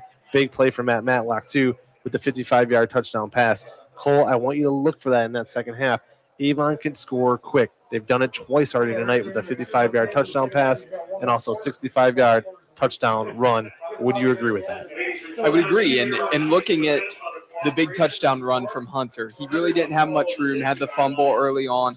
But what you do see is the patience. And he as he bounced out to the right hand side, he was looking to his left. He was patient, patient, cut back, made one defender miss, and as soon as he hit the middle of the field, he was gone. So that big playability and that you know more elite, strong running back vision Yep. is definitely there. So they can keep getting him the ball, especially if Pappas is not able to connect with his wide receivers. You look at Michael Potasic, a senior wide receiver. He's a good wide receiver. He's very talented. He's dropped a couple tonight. He needs to step it up here in the second half, pull in some of those big catches. You know he has the ability. He's just dropped a couple, uh, especially that one that was wide open in the open space. He probably could have taken that to the house, but it's something we saw on the Olmsted Falls side as well. We saw Jimmy Cooney. He got out in the middle of the field, was wide open. Uh, he threw it up the middle of the field. It might have been just a little far for him, but if Cooney kept running, he probably could have got under it and maybe pulled that one in and got to the house. So the wide receivers, a couple little miscommunications there with the their quarterbacks, a couple couple things where we could have seen big plays that did not end up happening. But right now, both teams they have abilities to come out and put points on the board. It's just a matter of we'll see if they can. Absolutely. And again, you know, I'll mention to kind of piggyback off your point there about Pappas. He only has 17 yards rushing the ball in this first half. Last week against Avon Lake, he did almost all of his damage on the ground in the second half. So let's see. You know, sometimes the run sets up the pass. So let's see if Pappas maybe has a, a few quick RPOs or whatever it takes, get the get a few rush yards, relaxes him, then starts throwing the ball better again. We'll see how that works out. And Pappas has run a ton of yards tonight, but side to side, scrambling and getting away from the pressure. Uh, his offensive line is much bigger than Midview's. Last week, as we saw the game here, as Midview came and visited Olmsted Falls, uh, so their line has been able to handle it better, but. They've still been able to get some pressure, and Pappas has had to scramble. He's had to do a couple spin moves as well, just to fight and get some yards Yeah. and escape the escape the pressure, really, and to get something positive out of not much there. Absolutely. And guys, with about a little under a minute to go before we have our second half kickoff, we're going to get to that in a second. But in case you're just joining us, just got off of work, just popped on Podbean, we thank you again. You're listening to KeeOnSports.com. I am Vince McKee alongside the very talented Cole McDaniel. And we're going to go ahead and we're going to keep you updated with how we got this fire. How is it 21 to 18 Avon? Let us tell you. It was Charlie Ciolik to Jimmy Cooney with a 15 yard pass, beautiful jump ball in the corner at the 8:59 mark to start the game with a score. Then they they, they fake it per se. Uh, well, definitely a fake actually. Parkowski direct snap. He was holding it. Anytime you have your massive fullback holding it, maybe you're going to do something sneaky. They did. Takes it right in, eight nothing. Then from there though, Avon wasted no time responding. We, we mentioned it there a second ago. It was Nico Pappas to Matlick, 55 yards, wide open over the shoulder catch. Then they got it again. They scored again. It was Devin Hunter, a five yard touchdown run, extra point good. Gave the Eagles a 14 8 lead.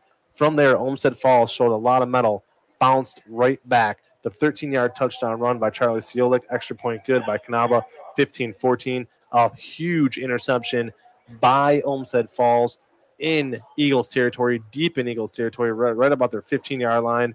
They have to settle for a 25 yard field goal by Drew Kanaba, builds that lead 18 14.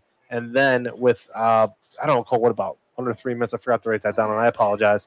But I'd say about three or four minutes left in the first half. Yep. It was a 65 yard touchdown run by Devin Hunter, Hunter that gave Avon the 21 to 18 lead. And then, as Cole and myself both said numerous times there, Avon got the ball back again with about two minutes to go. They would have had about 80 yards to get, but they've already shown tonight they could quick strike. And it was Olmsted Falls forcing the three and out, keeping it a one score game going into half at 21 18. Right, and as you mentioned, it was around the the 340 mark, that amount of time left in the the second quarter where that big Devin Hunter run happened, and he took that one to the house. And it looked like when Avon, Avon got the ball back again, it looked like they maybe had an opportunity that with time on the clock, they could have gone down the field and scored once again. But a great defensive stand there by the Bulldogs is why we're still seeing a 21 to 18 score on the board as we got a minute left about to come out here for the kickoff. And we're excited to get this half underway. Once again, you're listening to Kee On Sports. Got Friday football under the lights now. It was a beautiful evening. It's still a wonderful evening out here. The sun's finally set. Mm-hmm. The lights are on, and we have some nice football weather out here tonight. So also reminder not only to pay attention to us here on on Podbean, uh, on Kee On Sports, on Twitter, as well as on Facebook, not only for our links for the live games here on Podbean, but also to check out our writers who are out there, our guys covering those other games. They're constantly tweeting out video as well as score updates. Vince is following some of their score updates to inform you that. But if you want to scroll through, uh, that is being retweeted and liked by Vince here as well. And so you can check that all out on Kee On Sports on Twitter. Absolutely. One of those games is uh, Tony Bogan, who is at Lutheran East and Brush, where it looks again that uh, Brush up on that one seven to six. Also over there in um, North Ridgeville, fourteen to nothing at the half, as it's been all North Olmsted at this point in time. We are almost set for the start of the second half here. The Bulldogs receive the first half kick. Now it will be the Eagles' turn as they will be going from left to right here on our radio dial. The kick is up and away, and it's going to drop and skip right in the hands of number 16, Kaufman. Kaufman getting to the far sideline, tried to get around the edge, and just lost his footing as he was coming around the outside. It's going to get up just past the 25 yard line.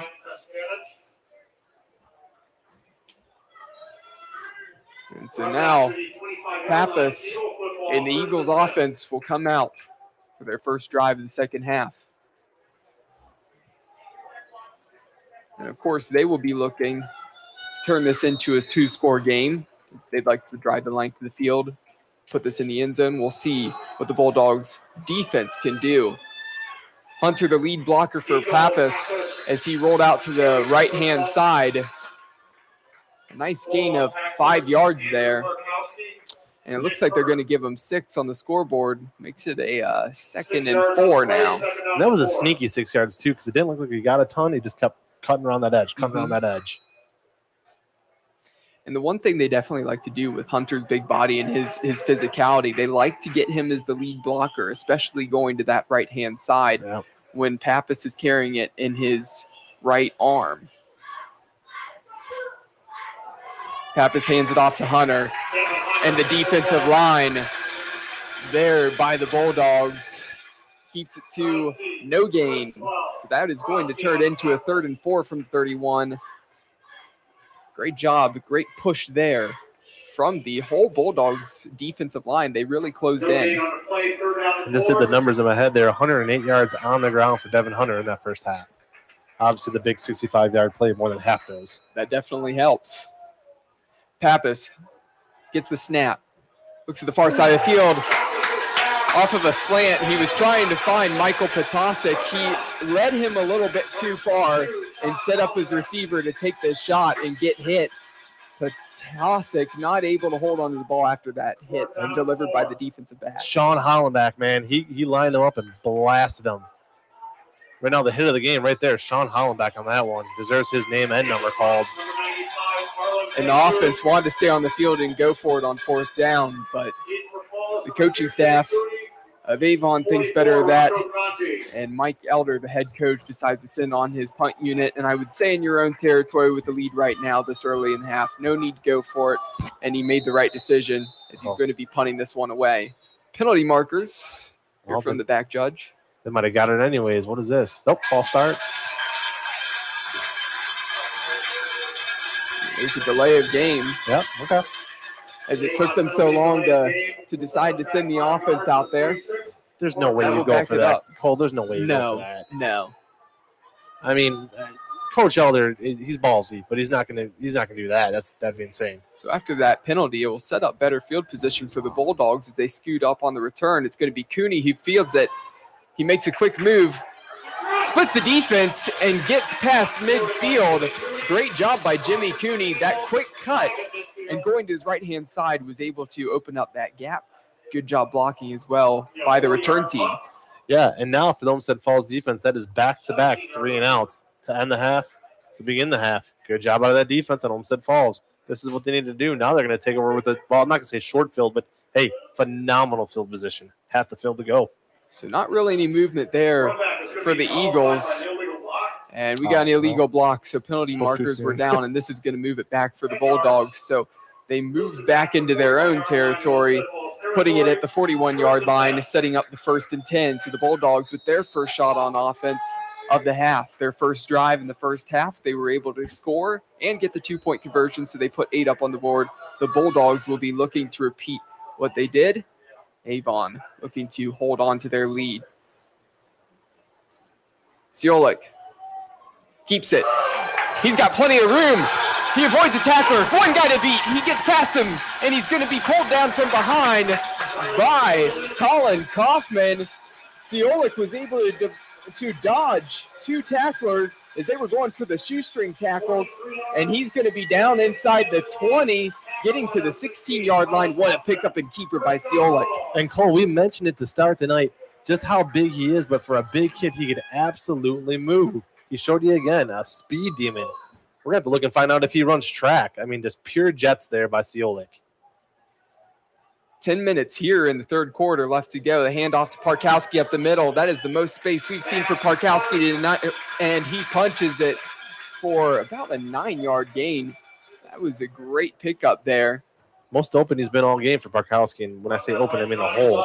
What a pickup there from Parkowski, and a good job by Ciolik to, to read that there was some room and hand it off to Parkowski because he had a slot guy coming around, could have easily kept it and pitched it to his slot. Instead, gave it to Parkowski. Great pickup. So now on the eight yard line, nine and a half minutes left to go. Bulldogs still down by three. Second and two. Ciolik, and that should be encroachment. The penalty flags come out. And Ciolik, his cadence must have got the Avon defense jumping. And so Avon backing themselves up into even more of a hole right now. Their backs up against the goal line as they are fighting off the Bulldogs, who only have four yards with four opportunities to punch it in the end zone right now. Can't say it enough. You know, you, you close a half with a three and out, and a, you begin the next half with a three and out. Olmsted Falls defense has done their job. Now, can the offense cash in? Avon's defense pinching in tight as Parkowski's behind Ciolik. The handoff to Parkowski. He barrels forward. He tried to make the effort. It looks like they're going to stop him short, but he got down to the one. That's a three yard gain. And Parkowski just dropped his helmet, lowered those shoulders, dropped the boom, and nearly made into the end zone. So now, second and one, one yard line. And you're probably going to see the goal line package of Avon be out there. They're going to try to do everything they can do because I would not be surprised to see this one go to Parkowski once again. They'll bring the house. Here's a handoff, a push by Parkowski. He was stopped short, but he pushed forward, kept those legs turning, and Andrew Parkowski puts it in for a touchdown. Bulldogs take the lead over Avon, and there you have it. The fullback doing the dirty work, just driving in there, keeping those legs churning, and Avon could not stop him. 24 to 21. And a look here for the PAT. I'll tell you what, Cole Parkowski does not have a ton of yards yet tonight, but he's got two pretty doggone big runs on that two point conversion and just now. He's making it count when he touches it. Drew Kanaba for the PAT. Snap is up, holds good, kick is good. 25 to 24, a four point lead now for the Bulldogs. And these two teams keep going back and forth here in Olmsted Falls.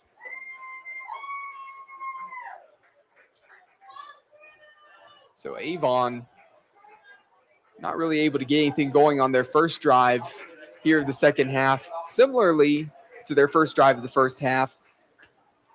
But in the first half, they were able to really, on that second drive, start to get things figured out, get their rhythm, start to move the ball. We'll see if here in the second half they can do the same on their drive.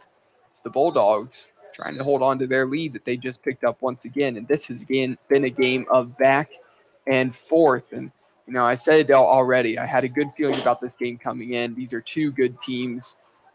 And this has been an amazing game to this point. And it just looks like it's going to continue that way. And each team matching each other's energy. When one does something, the other responds, and vice versa.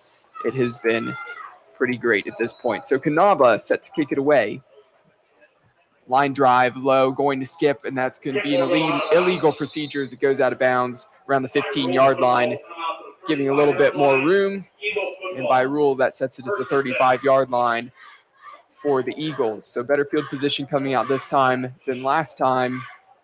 And we'll see what the Eagles can do. And if the Bulldogs defense can stop them from doing anything and force another three and out. And if they do this time, I'll, I'll take back my words from, from earlier. It would be the biggest three now if they pull it off again. That's not often Avon goes three straight possessions without a first down. Four receiver set. Hand off to Hunter up the middle. Hunter keeps the legs churning. He quickly got wrapped up, but was able to gain an extra three yards after being touched. It sets up a second and six from the 39 yard line. The hurry up offense in play for the Eagles. Pappas quickly under the gun. Another handoff up the middle. Quickly brought down was Hunter. He tried to spin away and got gang tackled there by three Bulldogs. Not any room for Hunter. A gain of one, if that, makes it a third and five. And you said a gang tackling is what they wanted to do. We talked with Coach DeLuca pregame. He said he watched them on Saturday Night Live, then he watched the tape Sunday. They knew what to expect when it came to Hunter. Three receivers on the far side, one on the near side. Pappas pressured. And he tries to throw it away. Ball on the ground. Wait a second And here. it's picked up. Oh my God. they're going to call it a fumble. Pappas tried to make something happen as he was getting wrapped up and tried to throw it away. Instead, it's going to be called a fumble.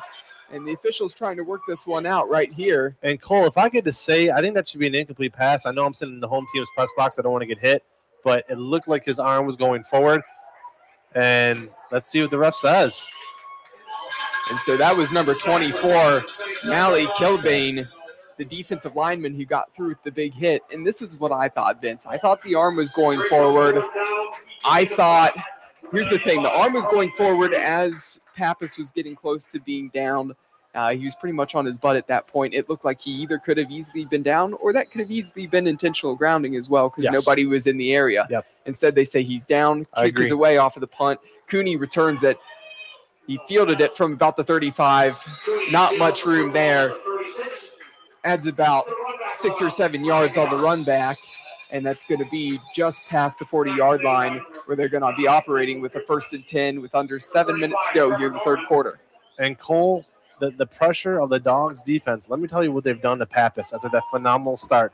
Nico Pappas now one for his last 10. That reception only eight yards.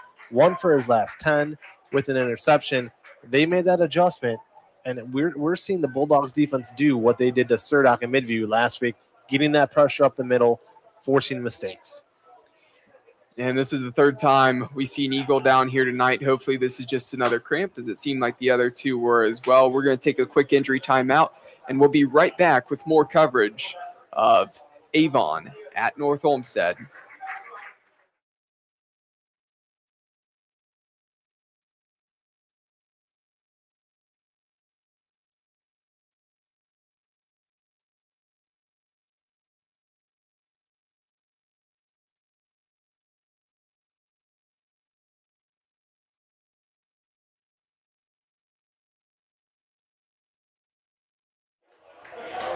And we're back following the injury timeout as the Eagles player was up and able to walk off the field on his own power.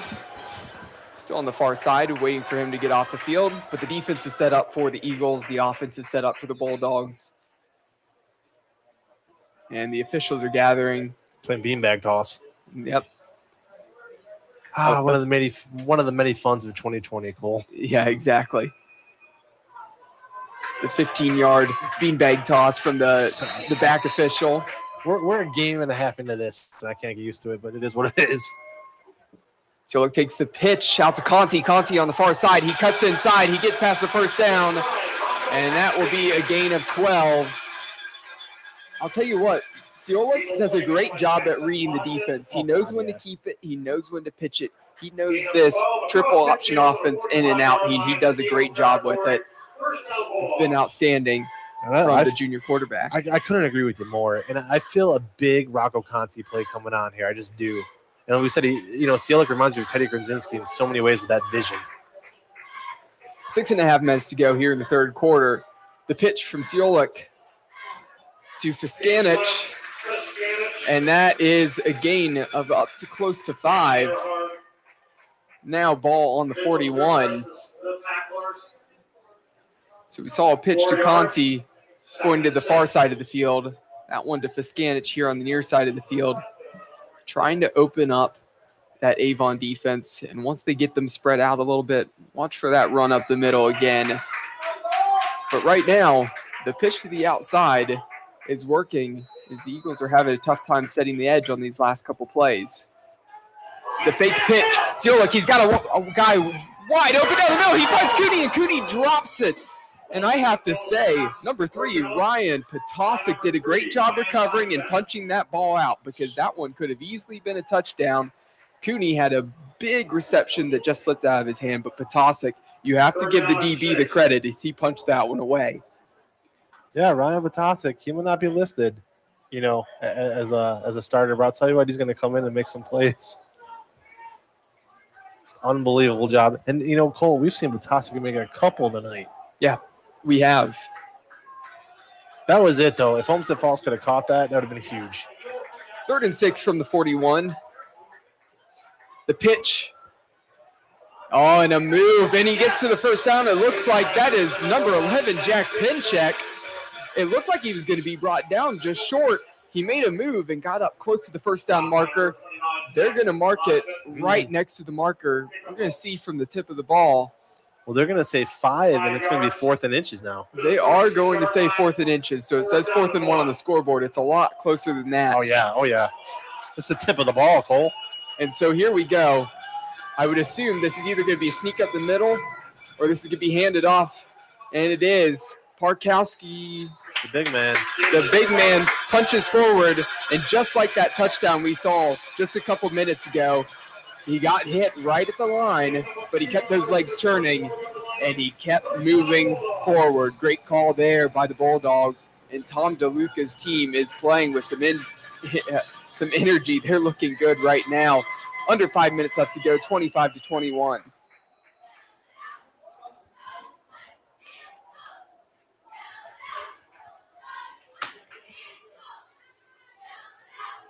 Fakes the handoff. Ciolik rolling off to the left hand side. He's got to fight to get back to the marker, and it looks like he was able to pick up a couple yards. He got pushed back about five yards and had to bounce it back. Good job to regain those yards and gain a couple. Ciolik trying to move those chains. Give him about three. as he's done a good job running this offense as they've been trying to move forward. He's done a good job of pitching it, like we mentioned. He's done a good job of, of reading what the defense has given him that time there, He made two Not bad much. passes right at defenders. Other than that, he's been perfect. pretty much. He's the handoff to the far side, bouncing out to the far side is number 25, Michael Candow. And Candow up again, close to the first down marker. A good pickup there. Sets up a third down. Ball on the 28. And I'll tell you what, that was a lot of running to only be given Yeah, three or four yards on the pickup there. we've seen Pappas on, on the other side of the ball do that numerous times tonight. Just keep getting around that edge. A lot of east and west Yes. running, not north and south. I agree. Crucial third down here. Ciolik keeps it, fakes the pitch, and that one he got caught up in between, and he wanted to pitch that one off Carrying the football is gonna be to Jack. Pinchek. That was taken off by the outside linebacker. Good job by the Eagles defense there. So that one really well played.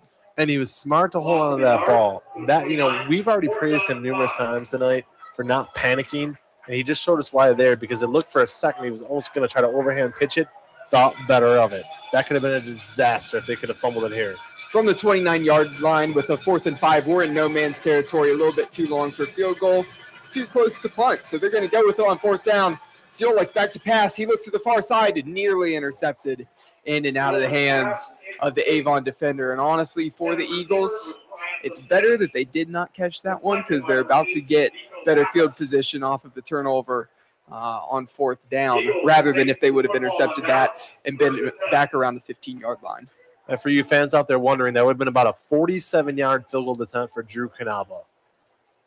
So I agree with Cole in the agreement that going for it was smart. Yeah, and Kanaba, we've seen his decent leg. He's been accurate, but I've seen off of his kickoffs a lot's been low and line drive. If his field goal comes off like that, it might have a hard time clearing from about 47. I agree. So the offense of the Eagles back out on the field. Pappas. Pappas takes the ball and hands it off to Hunter. Hunter barrels up forward and falls forward for about six yards. Second and four, ball on the 35. Anthony Argentiano. Gain of six yards. To the offense, they've they've done a good job balancing between the hurry up as well as taking their time to get the play calls in. We see them go quickly at times. We've seen them slow it down. Pappas has done a good job controlling that as well as the coaching staff. Pappas hands it off to Hunter. Hunter breaks a couple tackles. He gets to the far sideline and just pulled down from behind. Didn't look like he was going to get that many yards off of that, but when he broke that tackle and got around to the outside, he gained an extra 20 yards following that, and he is now down in Bulldogs territory, about the 30 yard line. Yeah, I mean, almost about a 37 38 yard rumble there for Devon Hunter. 36, they're going to stay on the clock there. 258 to go. Pappas hands it off. And rumbling forward is Desmond Kelly. We haven't really seen him since the first half. We've seen him sub in a couple times for Hunter, that time keeping the legs churning, and a nice gain on first down to pick up another first down. Ball down at the 15 yard line, first and 10. Just over two and a half minutes left to go here in the third quarter. Bulldogs maintain a four point lead over the Eagles. Eagles knocking on the door.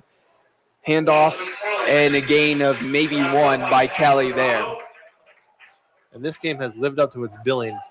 I mean, Kelly's another big boy on, on Avon. They're growing big out there. But he rumbled forward. Great wrap up tackle by Olmsted Falls. And as we've said all game long, I mean, if they need to tackle the knees, they're doing it. If they need to tackle the ankles, they're doing it. If they need to do a wrap up shoulder tackle, they're doing it. Olmsted Falls has put themselves in a position tonight, tackling, strictly tackling wise, to get it done accurately for the most part. Pappas gets the snap, hands it off. Hunter once again breaks a couple tackles, barrels forward, and that is another big pickup there. That's going to make it first and goal after picking up the first down. And here you see that hurry up offense. Cole, we had six scores in the first half. We've had one in this quarter. Hand off to Hunter, bouncing off to the left hand side, barreling forward. It looks like he just got stood up at the one yard line as he was stretching out. Could not quite make it, but now he's at the one. It's going to set up a second and goal A minute and a half left to go here in the third. Here's that hurry up offense again. Three receivers to the near side of the field. Pappas with Hunter to his right. Hands it off and stuffed. So no movement there. The Bulldogs able to stand strong with their backs up against the goal line. Third and goal from the one now. After the 65 yard touchdown run by Hunter, it's been runs of 1, 3, 1, 5, 37, 10, 2, and 1. Pappas with Hunter to his right. Now they're taking some time. They are taking some time now. We're under a minute here in the third quarter. Hunter still to Pappas's right. Pa- Hunter, lead blocker, Pappas tries to run, and he gets stopped. That is number 33, the fullback and inside linebacker, Andrew Parkowski. He has he does it all. great. He does it all. He came in there, and he was able to get around the lead blocker, Hunter, and that was a great job talk, tackling Pappas. Took him down by the legs. Fourth and goal from the one. Do you go for it right here? I'd say kill the clock. Decided in the fourth quarter. So I think you could. No, I'm sorry, I'm wrong. Only nine seconds on the play clock. You got to run a play. Absolutely have to go for it right now. Down to five, four. Snap is off. Trying to push and get to it. And it's stopped. The Bulldogs defense stands strong right at the end of the third quarter. The Bulldogs maintain their four point lead over the Eagles. Wow. Wow. And we're right next to the, the coach's box. Those guys are going nuts for good reason. Unbelievable. I tell you what, they have shown just nerves of steel tonight. That Bulldog defense got down early, and I'll tell you what, they got that three and out to end the first half. Since then, they've been absolute nails. And you can't blame Elder there for going for it. I would have too. Oh, at That situation, I think any coach goes for that one, especially you're down by four. You're a yard away. You have to go for it, especially when you have a big offensive line that's done a pretty good job opening up holes. You got a tough running back. You've got a quarterback who can run. It makes sense that they would go for it. So now, taking over possession, we're going to get one more play here in the third quarter. The Bulldogs setting up in their own end zone because that stop happened on the one. The pitch over to Conti, and he gains about two or three yards just to clear some space, and that is the end of the third quarter. So at the end of the third quarter here on Kee On Sports, the North Olmsted Bulldogs hosting the Avon Eagles have a 25 to 21 lead. After that huge stop, they're backed up and trying to force their way out and uh, try to go the length of the field to make it a two-score game. We're going to take a really quick break here as we're going into the fourth quarter. Again, you're listening to Kee On Sports. I'm Cole McDaniel alongside Vince McKee. We'll be right back.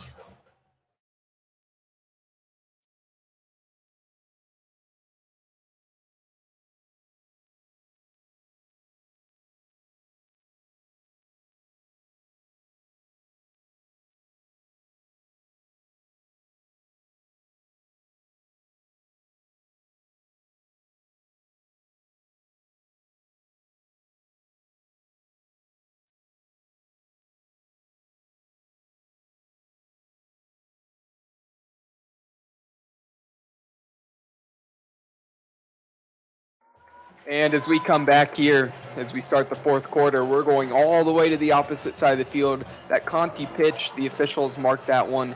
It's pretty much just about a one, one and a half yard gain, which puts the ball on the two. So we are going 96 yards completely in the opposite directions. We're completely flipping sides of the field. We got a second and nine as we're going to start this quarter for the Bulldogs offense. And Cole, I say, you know, when I did that petition, because I wanted everybody to, to know we needed fall football, this is the reason why. Nights like tonight, this game.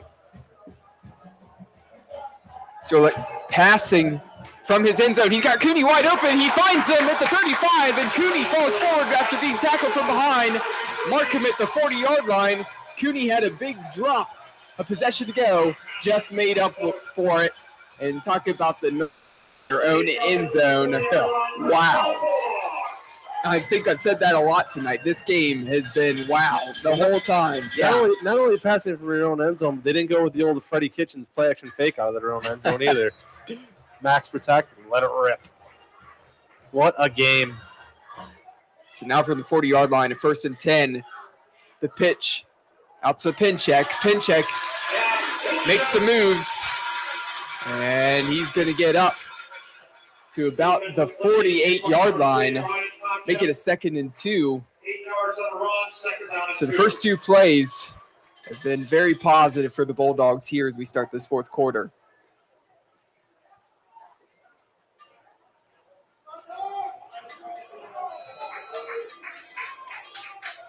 Ciolik under center.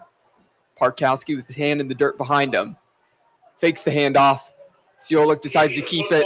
Charlie Schulich, after the Looked like he definitely wanted to pitch that one off to number 29, Michael Candow, but he did not because he saw the outside linebacker coming in and sealing off that edge. Another good decision to keep that one.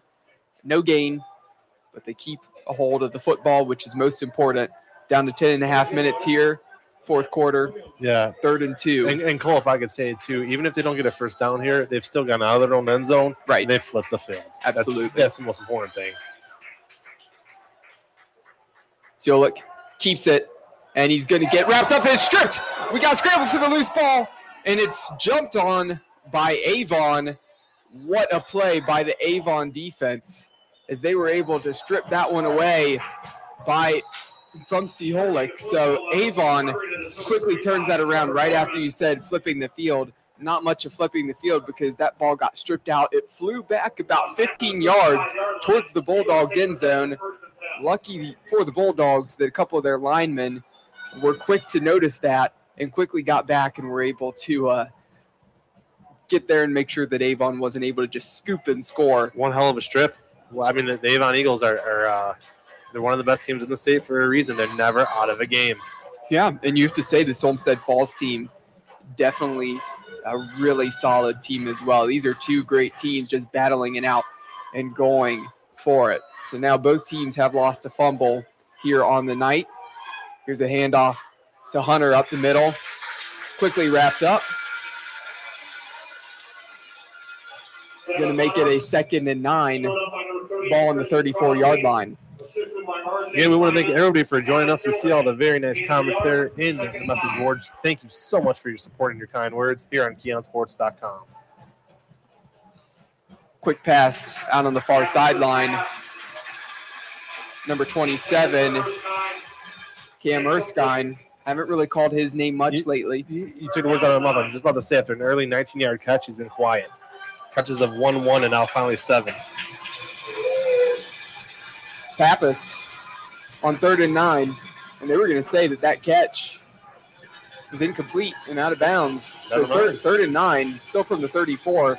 Again, it was on the far sideline. Hard to see if he got his feet in. They said he did not. So Pappas back in the gun, looking down the middle of the field into tight coverage. Got him that and time. we got a completion as he does find number 27, Cam Erskine. Two defenders tight on that. Great hands by Erskine to pull that in. Instant redemption for Erskine. First down Eagles at the 21. Two receivers on the far side, two on the near side. Hunter to the left of Pappas. Gets the snap, delivers a low strike, I thought he dropped it, but they're going to say he caught it. And Erskine pulls that one in. Erskine had to get down quickly. He was able to pull that in, makes it a second and five. That's my least favorite spot of the entire field, Cole. That far corner right there. And we've got a Bulldog checking out. Did it look like you like you dropped it? To me, it looked like you did. I didn't think he dropped it. It definitely was low. I do think he got his hands under it, but of course, in high school football, we don't have, you know, review. Nope. So, got to go with what the official saw down there. And I do think the official on the far side was close, and he did have a good look at it. Yep. So second and five from the 16, under nine minutes to go. Pappas. Receiver motions to the left. The handoff up the middle barreling forward gets it, some help from the offensive line for another extra couple yards. That will move the chains now downside the 10 yard line to set up a first and goal for the Eagles.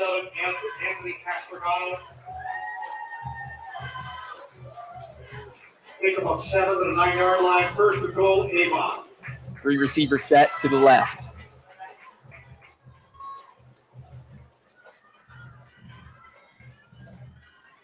There's the clap. turn and look to the sideline. Eagles taking their time to get this play in. Nine seconds on the play clock. Gets the snap off. The slant Touchdown. is delivered. It's complete, and it is in Eagles touchdown as he finds the senior wide receiver, number one, Michael Potasic. So that nine yard touchdown throw, Pappas to now gives the Eagles the lead. Again, back and forth. This game continues to go 27 to 25. Eagles an opportunity to extend it to a three point lead here with their PAT. Vakos kick is up, and it's good once again. Vakos remains perfect on the night on his PATs for four for four. 28 to 25 is your score. Eight minutes left to go here in the fourth quarter. Vince, we have a game. We've been saying it all night, and it just has not changed. It has been back and forth, blow for blow. And again, I know what you love. You love wrestling and fighting comments. So here's a Yeah. boxing one. This has been two heavyweights trading punches back and forth. Absolutely slugging it out. And as I have it in front of me, I grabbed it for a reason. This game, since the initial 8 0 lead, has never been more than four or five points apart. We've had 8 7, 14 8, 15 14, 18 14, 21 18, 25 21, and now 28 25. Guys, if that is not one versus two, I don't know what is. These are two teams to watch out for for the rest of the season. For anybody coming in their path, they play tough physical football. They're different teams, they have different styles, but they are tough. And we are seeing it here tonight and resilient. And I think everybody's had to had some resilience, resiliency coming into the season. Not only do you always have to have that on the field, but especially with the practices, with how everything's changed, waiting for the schedule. Oh, yeah, you didn't know what's happening week week to week. Absolutely. How do you prepare? I mean, even Elder told me that. Elder and DeLuca both said it. the kick is up, it's away. Conti fields it in the end zone. Once again, a fair catch. Ball will come out to the And we have seen quite a few touchbacks here, which means that Olmsted Falls will once again be setting up from their own 20 yard line. And guys, you know, uh, Cole just said it. You know, sluggers battle comes down to the end. Battle to phenomenal heavyweights, whatever cliche you want to use. And again, look, just look at these scores: eight to nothing, eight to seven, 14 to 8, 15 to 14, 18 to 14, 21 18, 25 21, 28 25. This is the game where you do not get up to grab something out of the fridge. Still over eight minutes left to go here in the fourth quarter. Plenty of time. No need to panic right now. Just run your offense if you're Olmsted Falls. The fake pitch rolling to the right. Ciolik finds Conti. Conti makes a man miss, stays on his feet, and he gets forward in that one. Two flags on that play. Both are going to be on Avon. So you saw the one official, he threw his flag here on the near side. It's going to be on Avon, and then a grab of the face mask. And so you saw that same official's hat come off. So two flags as Vince McKee called it here. So after that 12 yard pickup on the pass play, we wait to see what the officials have to say. And there will be a respotting of the ball most certainly here after they end their discussion.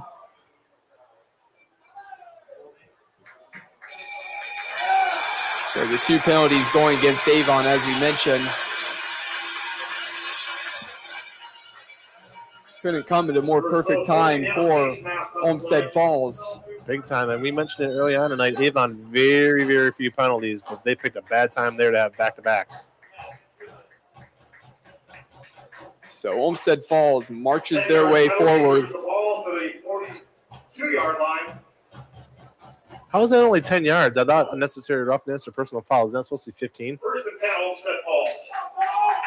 I'm not sure on the spot of this at all. It, it should be 15 yards from where the kid went out of bounds, but okay. So it is up to the 42 yard line, first and 10. And there we go. Another penalty by Avon. A flinch, and jump off sides. That's going to be encroachment, a five yard penalty. That was number 83. Very uncharacteristic. So number 83 is Austin Mitchell on the Avon defense. Just caught him jumping there. Got a little too antsy. So a short down here, first and five on the 47 for the Bulldogs. They keep marching forward off of penalties. The handoff on the middle and absolutely blown up. Wow. So into the game was number five, Clay Vormelker, the fullback. He got rocked by the linebacker there. I believe that was number 35, which looks to be Trevor Norman, was the first to deliver the blow. Yeah, Trevor Norman's a beast. Unbelievable. He he he made uh Vormelker feel that in his feelings. Just crushed him. So a gain of two, though. So, Avon's deep at linebacker. Hand off up the middle.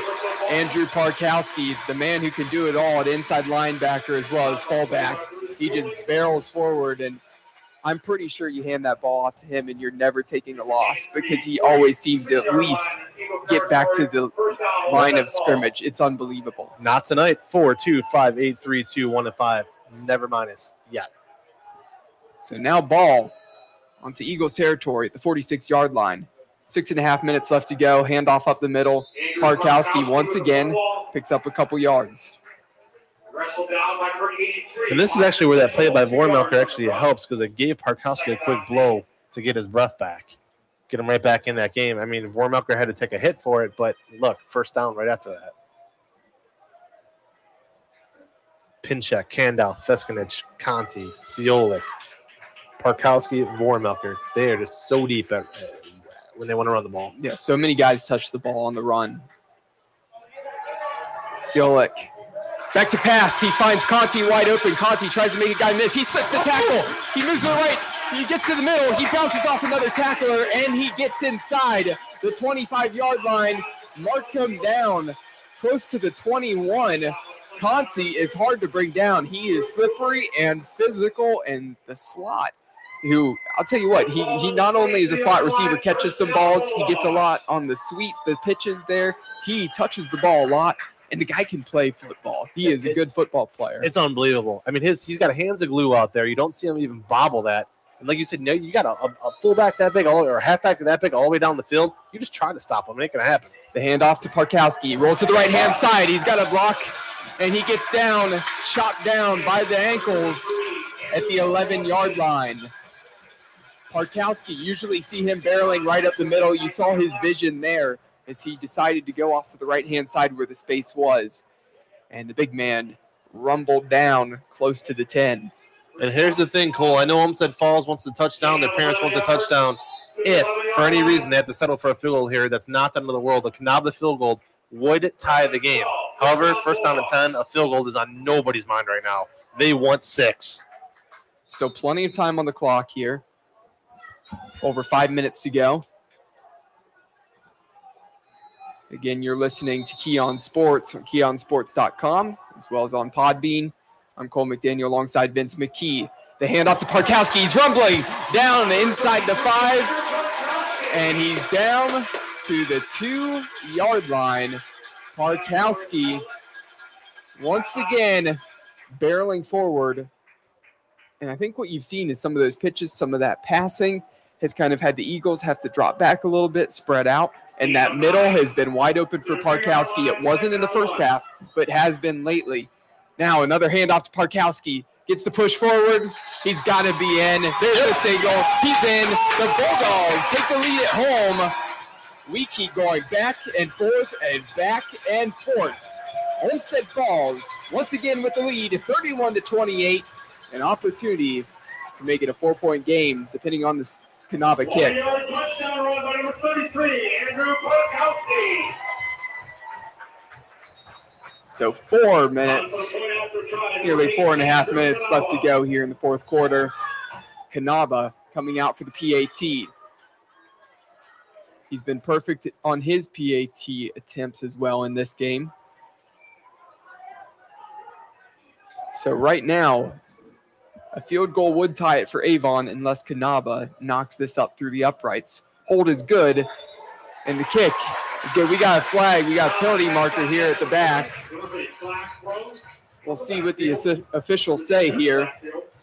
I'll tell you what, for Avon, this was a horrible drive when it came to penalties. A lot of penalties, and it's going to go against Avon. So the kick is good. Avon needs a touchdown to take the lead. A field goal would put them a point short. That's a big PAT there from Kanaba and the Bulldogs. And Cole, how big now? Here we are, two hours later, what it's ever been. You know, two hours later, how big is it now that they went for that two point conversion at the beginning of the game? Massive. Huge. Tell you what, it makes Coach Tom DeLuca look like a genius right now. wow. I mean, that's unbelievably foreshadowing that. Yeah, the whole coaching staff looking looking like geniuses right now for going for that two point conversion and converting there on that opening drive because that that's the difference maker. Because all Avon would need to do with over three minutes left to go is go down there, get in field goal range, kick a field goal, take it to overtime. They can't do that now because of that two point conversion, which was crucial. So again, four point lead for the Bulldogs. And they're about to be kicking away. And that penalty will be assessed on the kickoff which means Kanaba will be kicking from the Eagles' 45 yard line. Expect this one to sail into the end zone.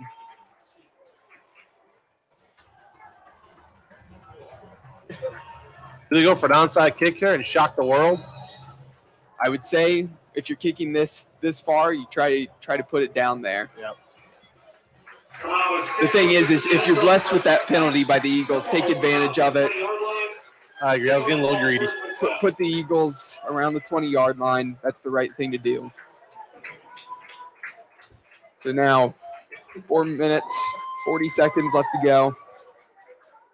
Here in the fourth quarter, in Olmsted Falls. Big matchup. Again, Vince mentioned it earlier. Avon, highly ranked in the state. Olmsted Falls pulls off this victory, you know Olmsted Falls is going to be climbing up the ranks Quickly. very quickly. Pappas back, deep throw to Erskine on the far sideline. He gets his feet in. That's a first down. Move the chains. And he's shown that several times tonight as Cam Cam Erskine, his ability to tiptoe along those sidelines. We've seen it twice already tonight. Pappas, real quick, Cole. Pappas starting to heat up again. That he is. Pappas has had some times where he's been a little hot and cold tonight, gone on a little stretch where he's found his receivers, and then completion, completion, completion. Right now, he's on a hot streak. Here's the handoff to Hunter. Hunter rumbling forward to nearly the first down. Looks like he's just going to be short. And no, they're going to give him the extra. It looked like about a nine and a half yard gain. I don't see him moving the chains yet. Official on the near side pointed his left arm, giving him the spot. Now they're moving. And there, the chains do move. So it looks like pretty good spot, a little generous there. But the Eagles, that won't matter to them as they are driving right now. Now in opponent's territory at the 47, handoff once again up the middle. Hunter rumbling, spins out of a tackle and gets pulled down from behind. And we got an injured Bulldog down. And I'll tell you what, too, Cole, they're doing this quick. They've they've used less than 40 seconds. They've legit gone all the way down the field here in 36 seconds. They're moving quick. The clock stops after every play because first down stops the clock. Um, I mean, they've now gone, you know, if my math is correct, that's almost 50 yards in 36 seconds. Unbelievable. Yeah, and at number 34, Marcus Criswell, he ma- did a good job making that tackle. Went down awkwardly on that ankle on his leg. We're going to take a quick injury timeout here on Kee On Sports. Once again, I'm Cole McDaniel, Vince McKee. We'll be right back in just a few seconds.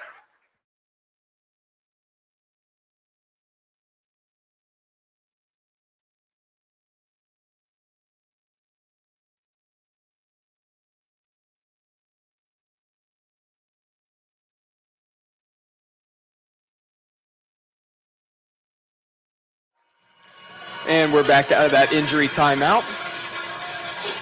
Criswell was able to get up, get off the field. We're back in action. First and 10 on the 33. It's a handoff once again and quickly read and quickly stuffed. That's a big stop there by Hunter, too, because he's coming off runs of 10, 6, 10, 13. That's really the first time they've stopped him behind the line of scrimmage almost all night. Number 24, Mally Kilbane was the first one in the backfield to stop Hunter there, making it his second 11 from the 34. And that runs the clock for the first time in this drive. Down to three and a half minutes left to go here in the fourth quarter. Two receivers to the left hand side, two to the right hand side. Hunter switches over from Pappas's right to his left. Pappas gets the snap, looks to the right hand side, a quick slant, Erskine. completed to Erskine. Erskine, tell you what, he pulled that one in in the first quarter, went quiet. here in the fourth, he has been a big factor. Quickly getting back to the line, Avon trying to move as quickly as possible. Here's the snap and the handoff. Quickly read and the off the clock. edge. That runs the clock. Great tackle. Good job by the outside linebackers of Olmsted Falls reading that one. So we're under three minutes now. Bulldogs still with the four point lead, 32 to 28. If you're just checking into this game, you're checking in at the right time. We've got a tight one down to two and a half minutes now. The handoff. Got Hunter barrels forward, and it looks like he is going to get the first down off of that gain of three. And I'll tell you what, as I look out into this crowd, it is packed on the Olmsted Falls sign. You know, we a lot of people were worried what was the atmosphere going to be like tonight. This atmosphere is amazing. Olmsted Falls fans, take your hats off. Phenomenal job. I tip my hat to you. I don't know what I'm saying. I tip my hat to you. Phenomenal. You can take your hats off too. But phenomenal job. Timeout. So we do have a timeout. And with this timeout on the field, this has been electric. This we couldn't ask for much more coming back to football. You know, we had a good time being back out last Yep. week. Then we get around to this week. We got a huge game coming in here. We have beautiful weather. Just a wonderful game coming right down to the end. And, you know, I have no idea where this game is going to go, how this is going to turn. Again, Olmsted Falls with that four point lead. The chains are coming out. They're trying to spot this ball. Whoa. And they mark it, He got it. and he got it by a football length Wow. on how they marked it. So the chain gang will head off, and Avon will get I thought, he first was down gonna, here. I thought he was going to keep pulling. I'm like, that's a terrible spot. No, that's good. It's on the money. And that stops the clock for Avon there, gives him a break. Who So- called for that? DeLuca must have called for the spot. Olmsted Falls. He must have. So two receivers to the left, two receivers to the right. We've seen that a lot here from Avon lately. The handoff to Hunter. Actually, no, he pulled it back. Oh, and Pappas decided not to give it to Hunter and instead took the punishment. Well read by the Bulldogs. And honestly, Hunter probably would have been stopped early, but that was one where he probably should have handed that off because I think he lost another two yards because of keeping it himself. Again, the Bulldogs defense showing their physicality and backing up the Eagles. So now we got a second and 13 from the 26. Pappas rolling up. He goes to scramble. He gets up the middle. Yeah. A lot of contact. Avon got away with a holding call there, big time. Big time call. Holding on Avon, no call. They did, and I think you are right, Vince. I think they missed that. The officials, I think, overall have done a pretty good job tonight, but there have been a couple things they have missed, as you see in about every game. Yeah. I mean, they, they say you can call holding on every single play, but that was that was kind of blatant. Here we go, third and five, Cole. This is big. Minute and a have to go. As Vince said, at third and five on the 18 yard line, a minute and a half to go. Pappas back, looks to his left. The dump down to Hunter. Hunter got lots of room and he walks into the end zone untouched. And the Eagles take a lead. Still a minute and 15 seconds left on the clock. Left in the game here in the fourth quarter. Avon now with that lead. But this is again where we talked about that two point conversion comes into play huge Mhm. here. If Avon does convert here, it will make it 35 to 32. The Bulldogs, all they'd have to do is get into field goal territory, and then Kanaba can maybe go out there and try to tie it up, take this to overtime. But right now, First, re- first reception of the game, too, by Hunter. yeah, first reception of the game, a touchdown reception. Here's Vakos. Hold was good, kick was good. 35 to 32 as the Eagles now have the lead. And the punches continue to be thrown here in Olmsted Falls. Again, I'm Cole McDaniel alongside me, Vince McKee tonight, my broadcast partner. If you were just tuning in or if you stayed with us all night, thank you for being with us. This has been a great game. We continue to bring you coverage here on Kee On Sports. Just a reminder as well if your team is not being covered on Kee On Sports, there's a possibility they might be live on Kee On Sports Elite, our new coverage team out there, Brandon SP as well as Mike Rogers, as uh, they will also be bringing a live game each Friday, just as we will be doing. Also, check out Twitter, where we will have updates from our reporters out there at some games. They'll put some video as well. So make sure to pay attention to live score updates from them. And Cole, I want to give a, a shout out to Cam Erskine there. As you said, a slow, it had a big catch early, then a slow since then. But really, on those drives, those last drive there, 12, 5, 27, 11, Erskine getting it done when it's needed the most right now. And Avon able to get done when they need it the most as a team. That drive took over four minutes. A lot of time off the clock. But still a minute and 15 seconds left to go for the Bulldogs. And the kick goes through the end zone. That one's going to be coming out to the 20. I'll tell you what, Nathaniel Vakos has been consistent on launching that ball into the end zone. He's got a boot, definitely a big boot. Also, guys, real quick too, uh, you could, it will be announced later this week on Kee On Sports. But if you've looked ahead, you already know me and Cole will be in Avon Lake next weekend, next Friday night, as the Shoremen host the Midview Middies. As the current scores stand with Midview and Amherst, it looks like the uh, Middies might be 0 2, and the Shoremen will be one on one as they are blasting Bremen Park as we speak. Cole, take us away. Here we go. And Ciolik under center. They got to drive to try to get back in this game. Pass out the far side and intercepted by the Eagles. That one might end up wrapping up this game. We got a minute and nine seconds left to go, but that one was well read and picked off.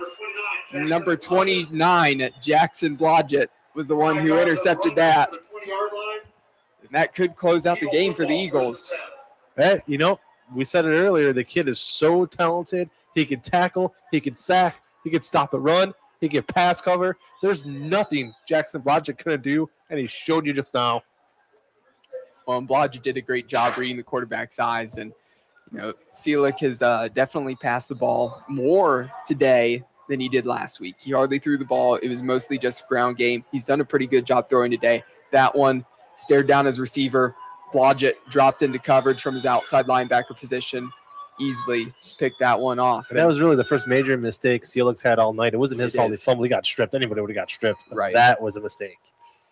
so here the Bulldogs defense has to come up big. Pappas keeps it. Nice wrap up tackle there. Again, Kilbane in the backfield. A little shaken up though after that tackle. Down to a minute left in this game as we have this injury timeout. We're going to take a very quick break, but don't go away. We've got the conclusion of this game with a minute left. Still the Eagles with a three point lead, and the Bulldogs trying to find a way back in this right at the end of the fourth quarter. We'll be right back here on Kee On Sports.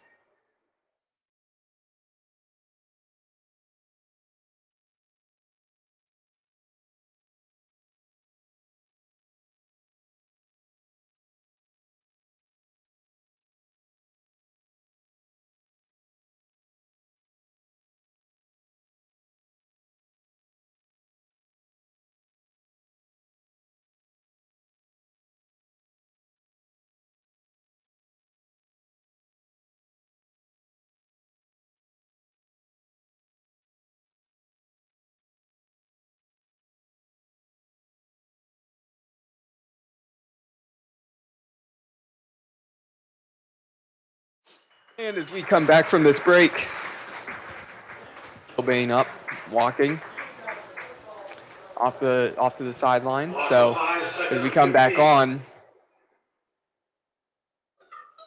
to the field, the Eagles again trying to close this one out, but they're backed up right now.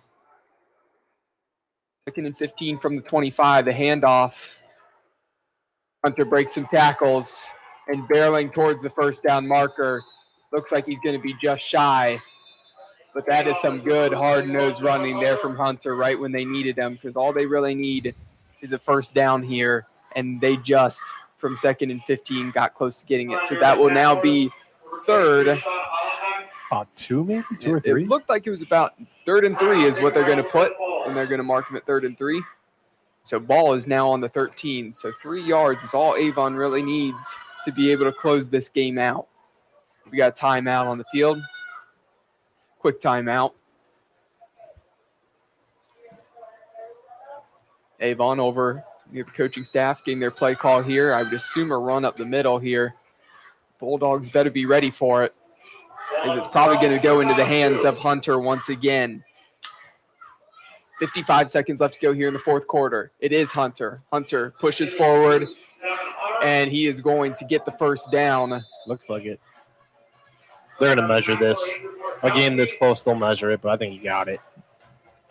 He looks like he's right at the first down marker. It's going to be close. I wouldn't be surprised to see the chain game come Yeah, out, yeah. and that they are. They're about to measure. And it's better safe than sorry in this situation. So down to 50 seconds here, and what's been an amazing game here in Olmsted Falls. And again, while we have this break in the action, guys, I want to remind you we are definitely looking for sponsors right now. Email me, Vince McKee at CoachVin14 at yahoo.com. Thank you, T Mart, for sharing our live show, by the way. And thank you, everybody who has shared this broadcast tonight. We are honored to be here in Olmsted Falls. Uh, Cole McDaniel and myself absolutely love doing this for you guys. Let us know. Keep it going. KeeOnSports.com. We need sponsorships. We got all kinds of specials running right now. We know uh, businesses are suffering from the COVID 19, and we want to go ahead and we want to make things a little bit better for you. Email me, Vince McKee, at CoachVin14 at yahoo.com. And the silence just fell over the crowd as the chain gang did measure. It was a first down, and now the Eagles are just going to take a knee to try to run out this clock here. So as the clock is running, it's approaching 30 seconds, down to 11 on the play clock.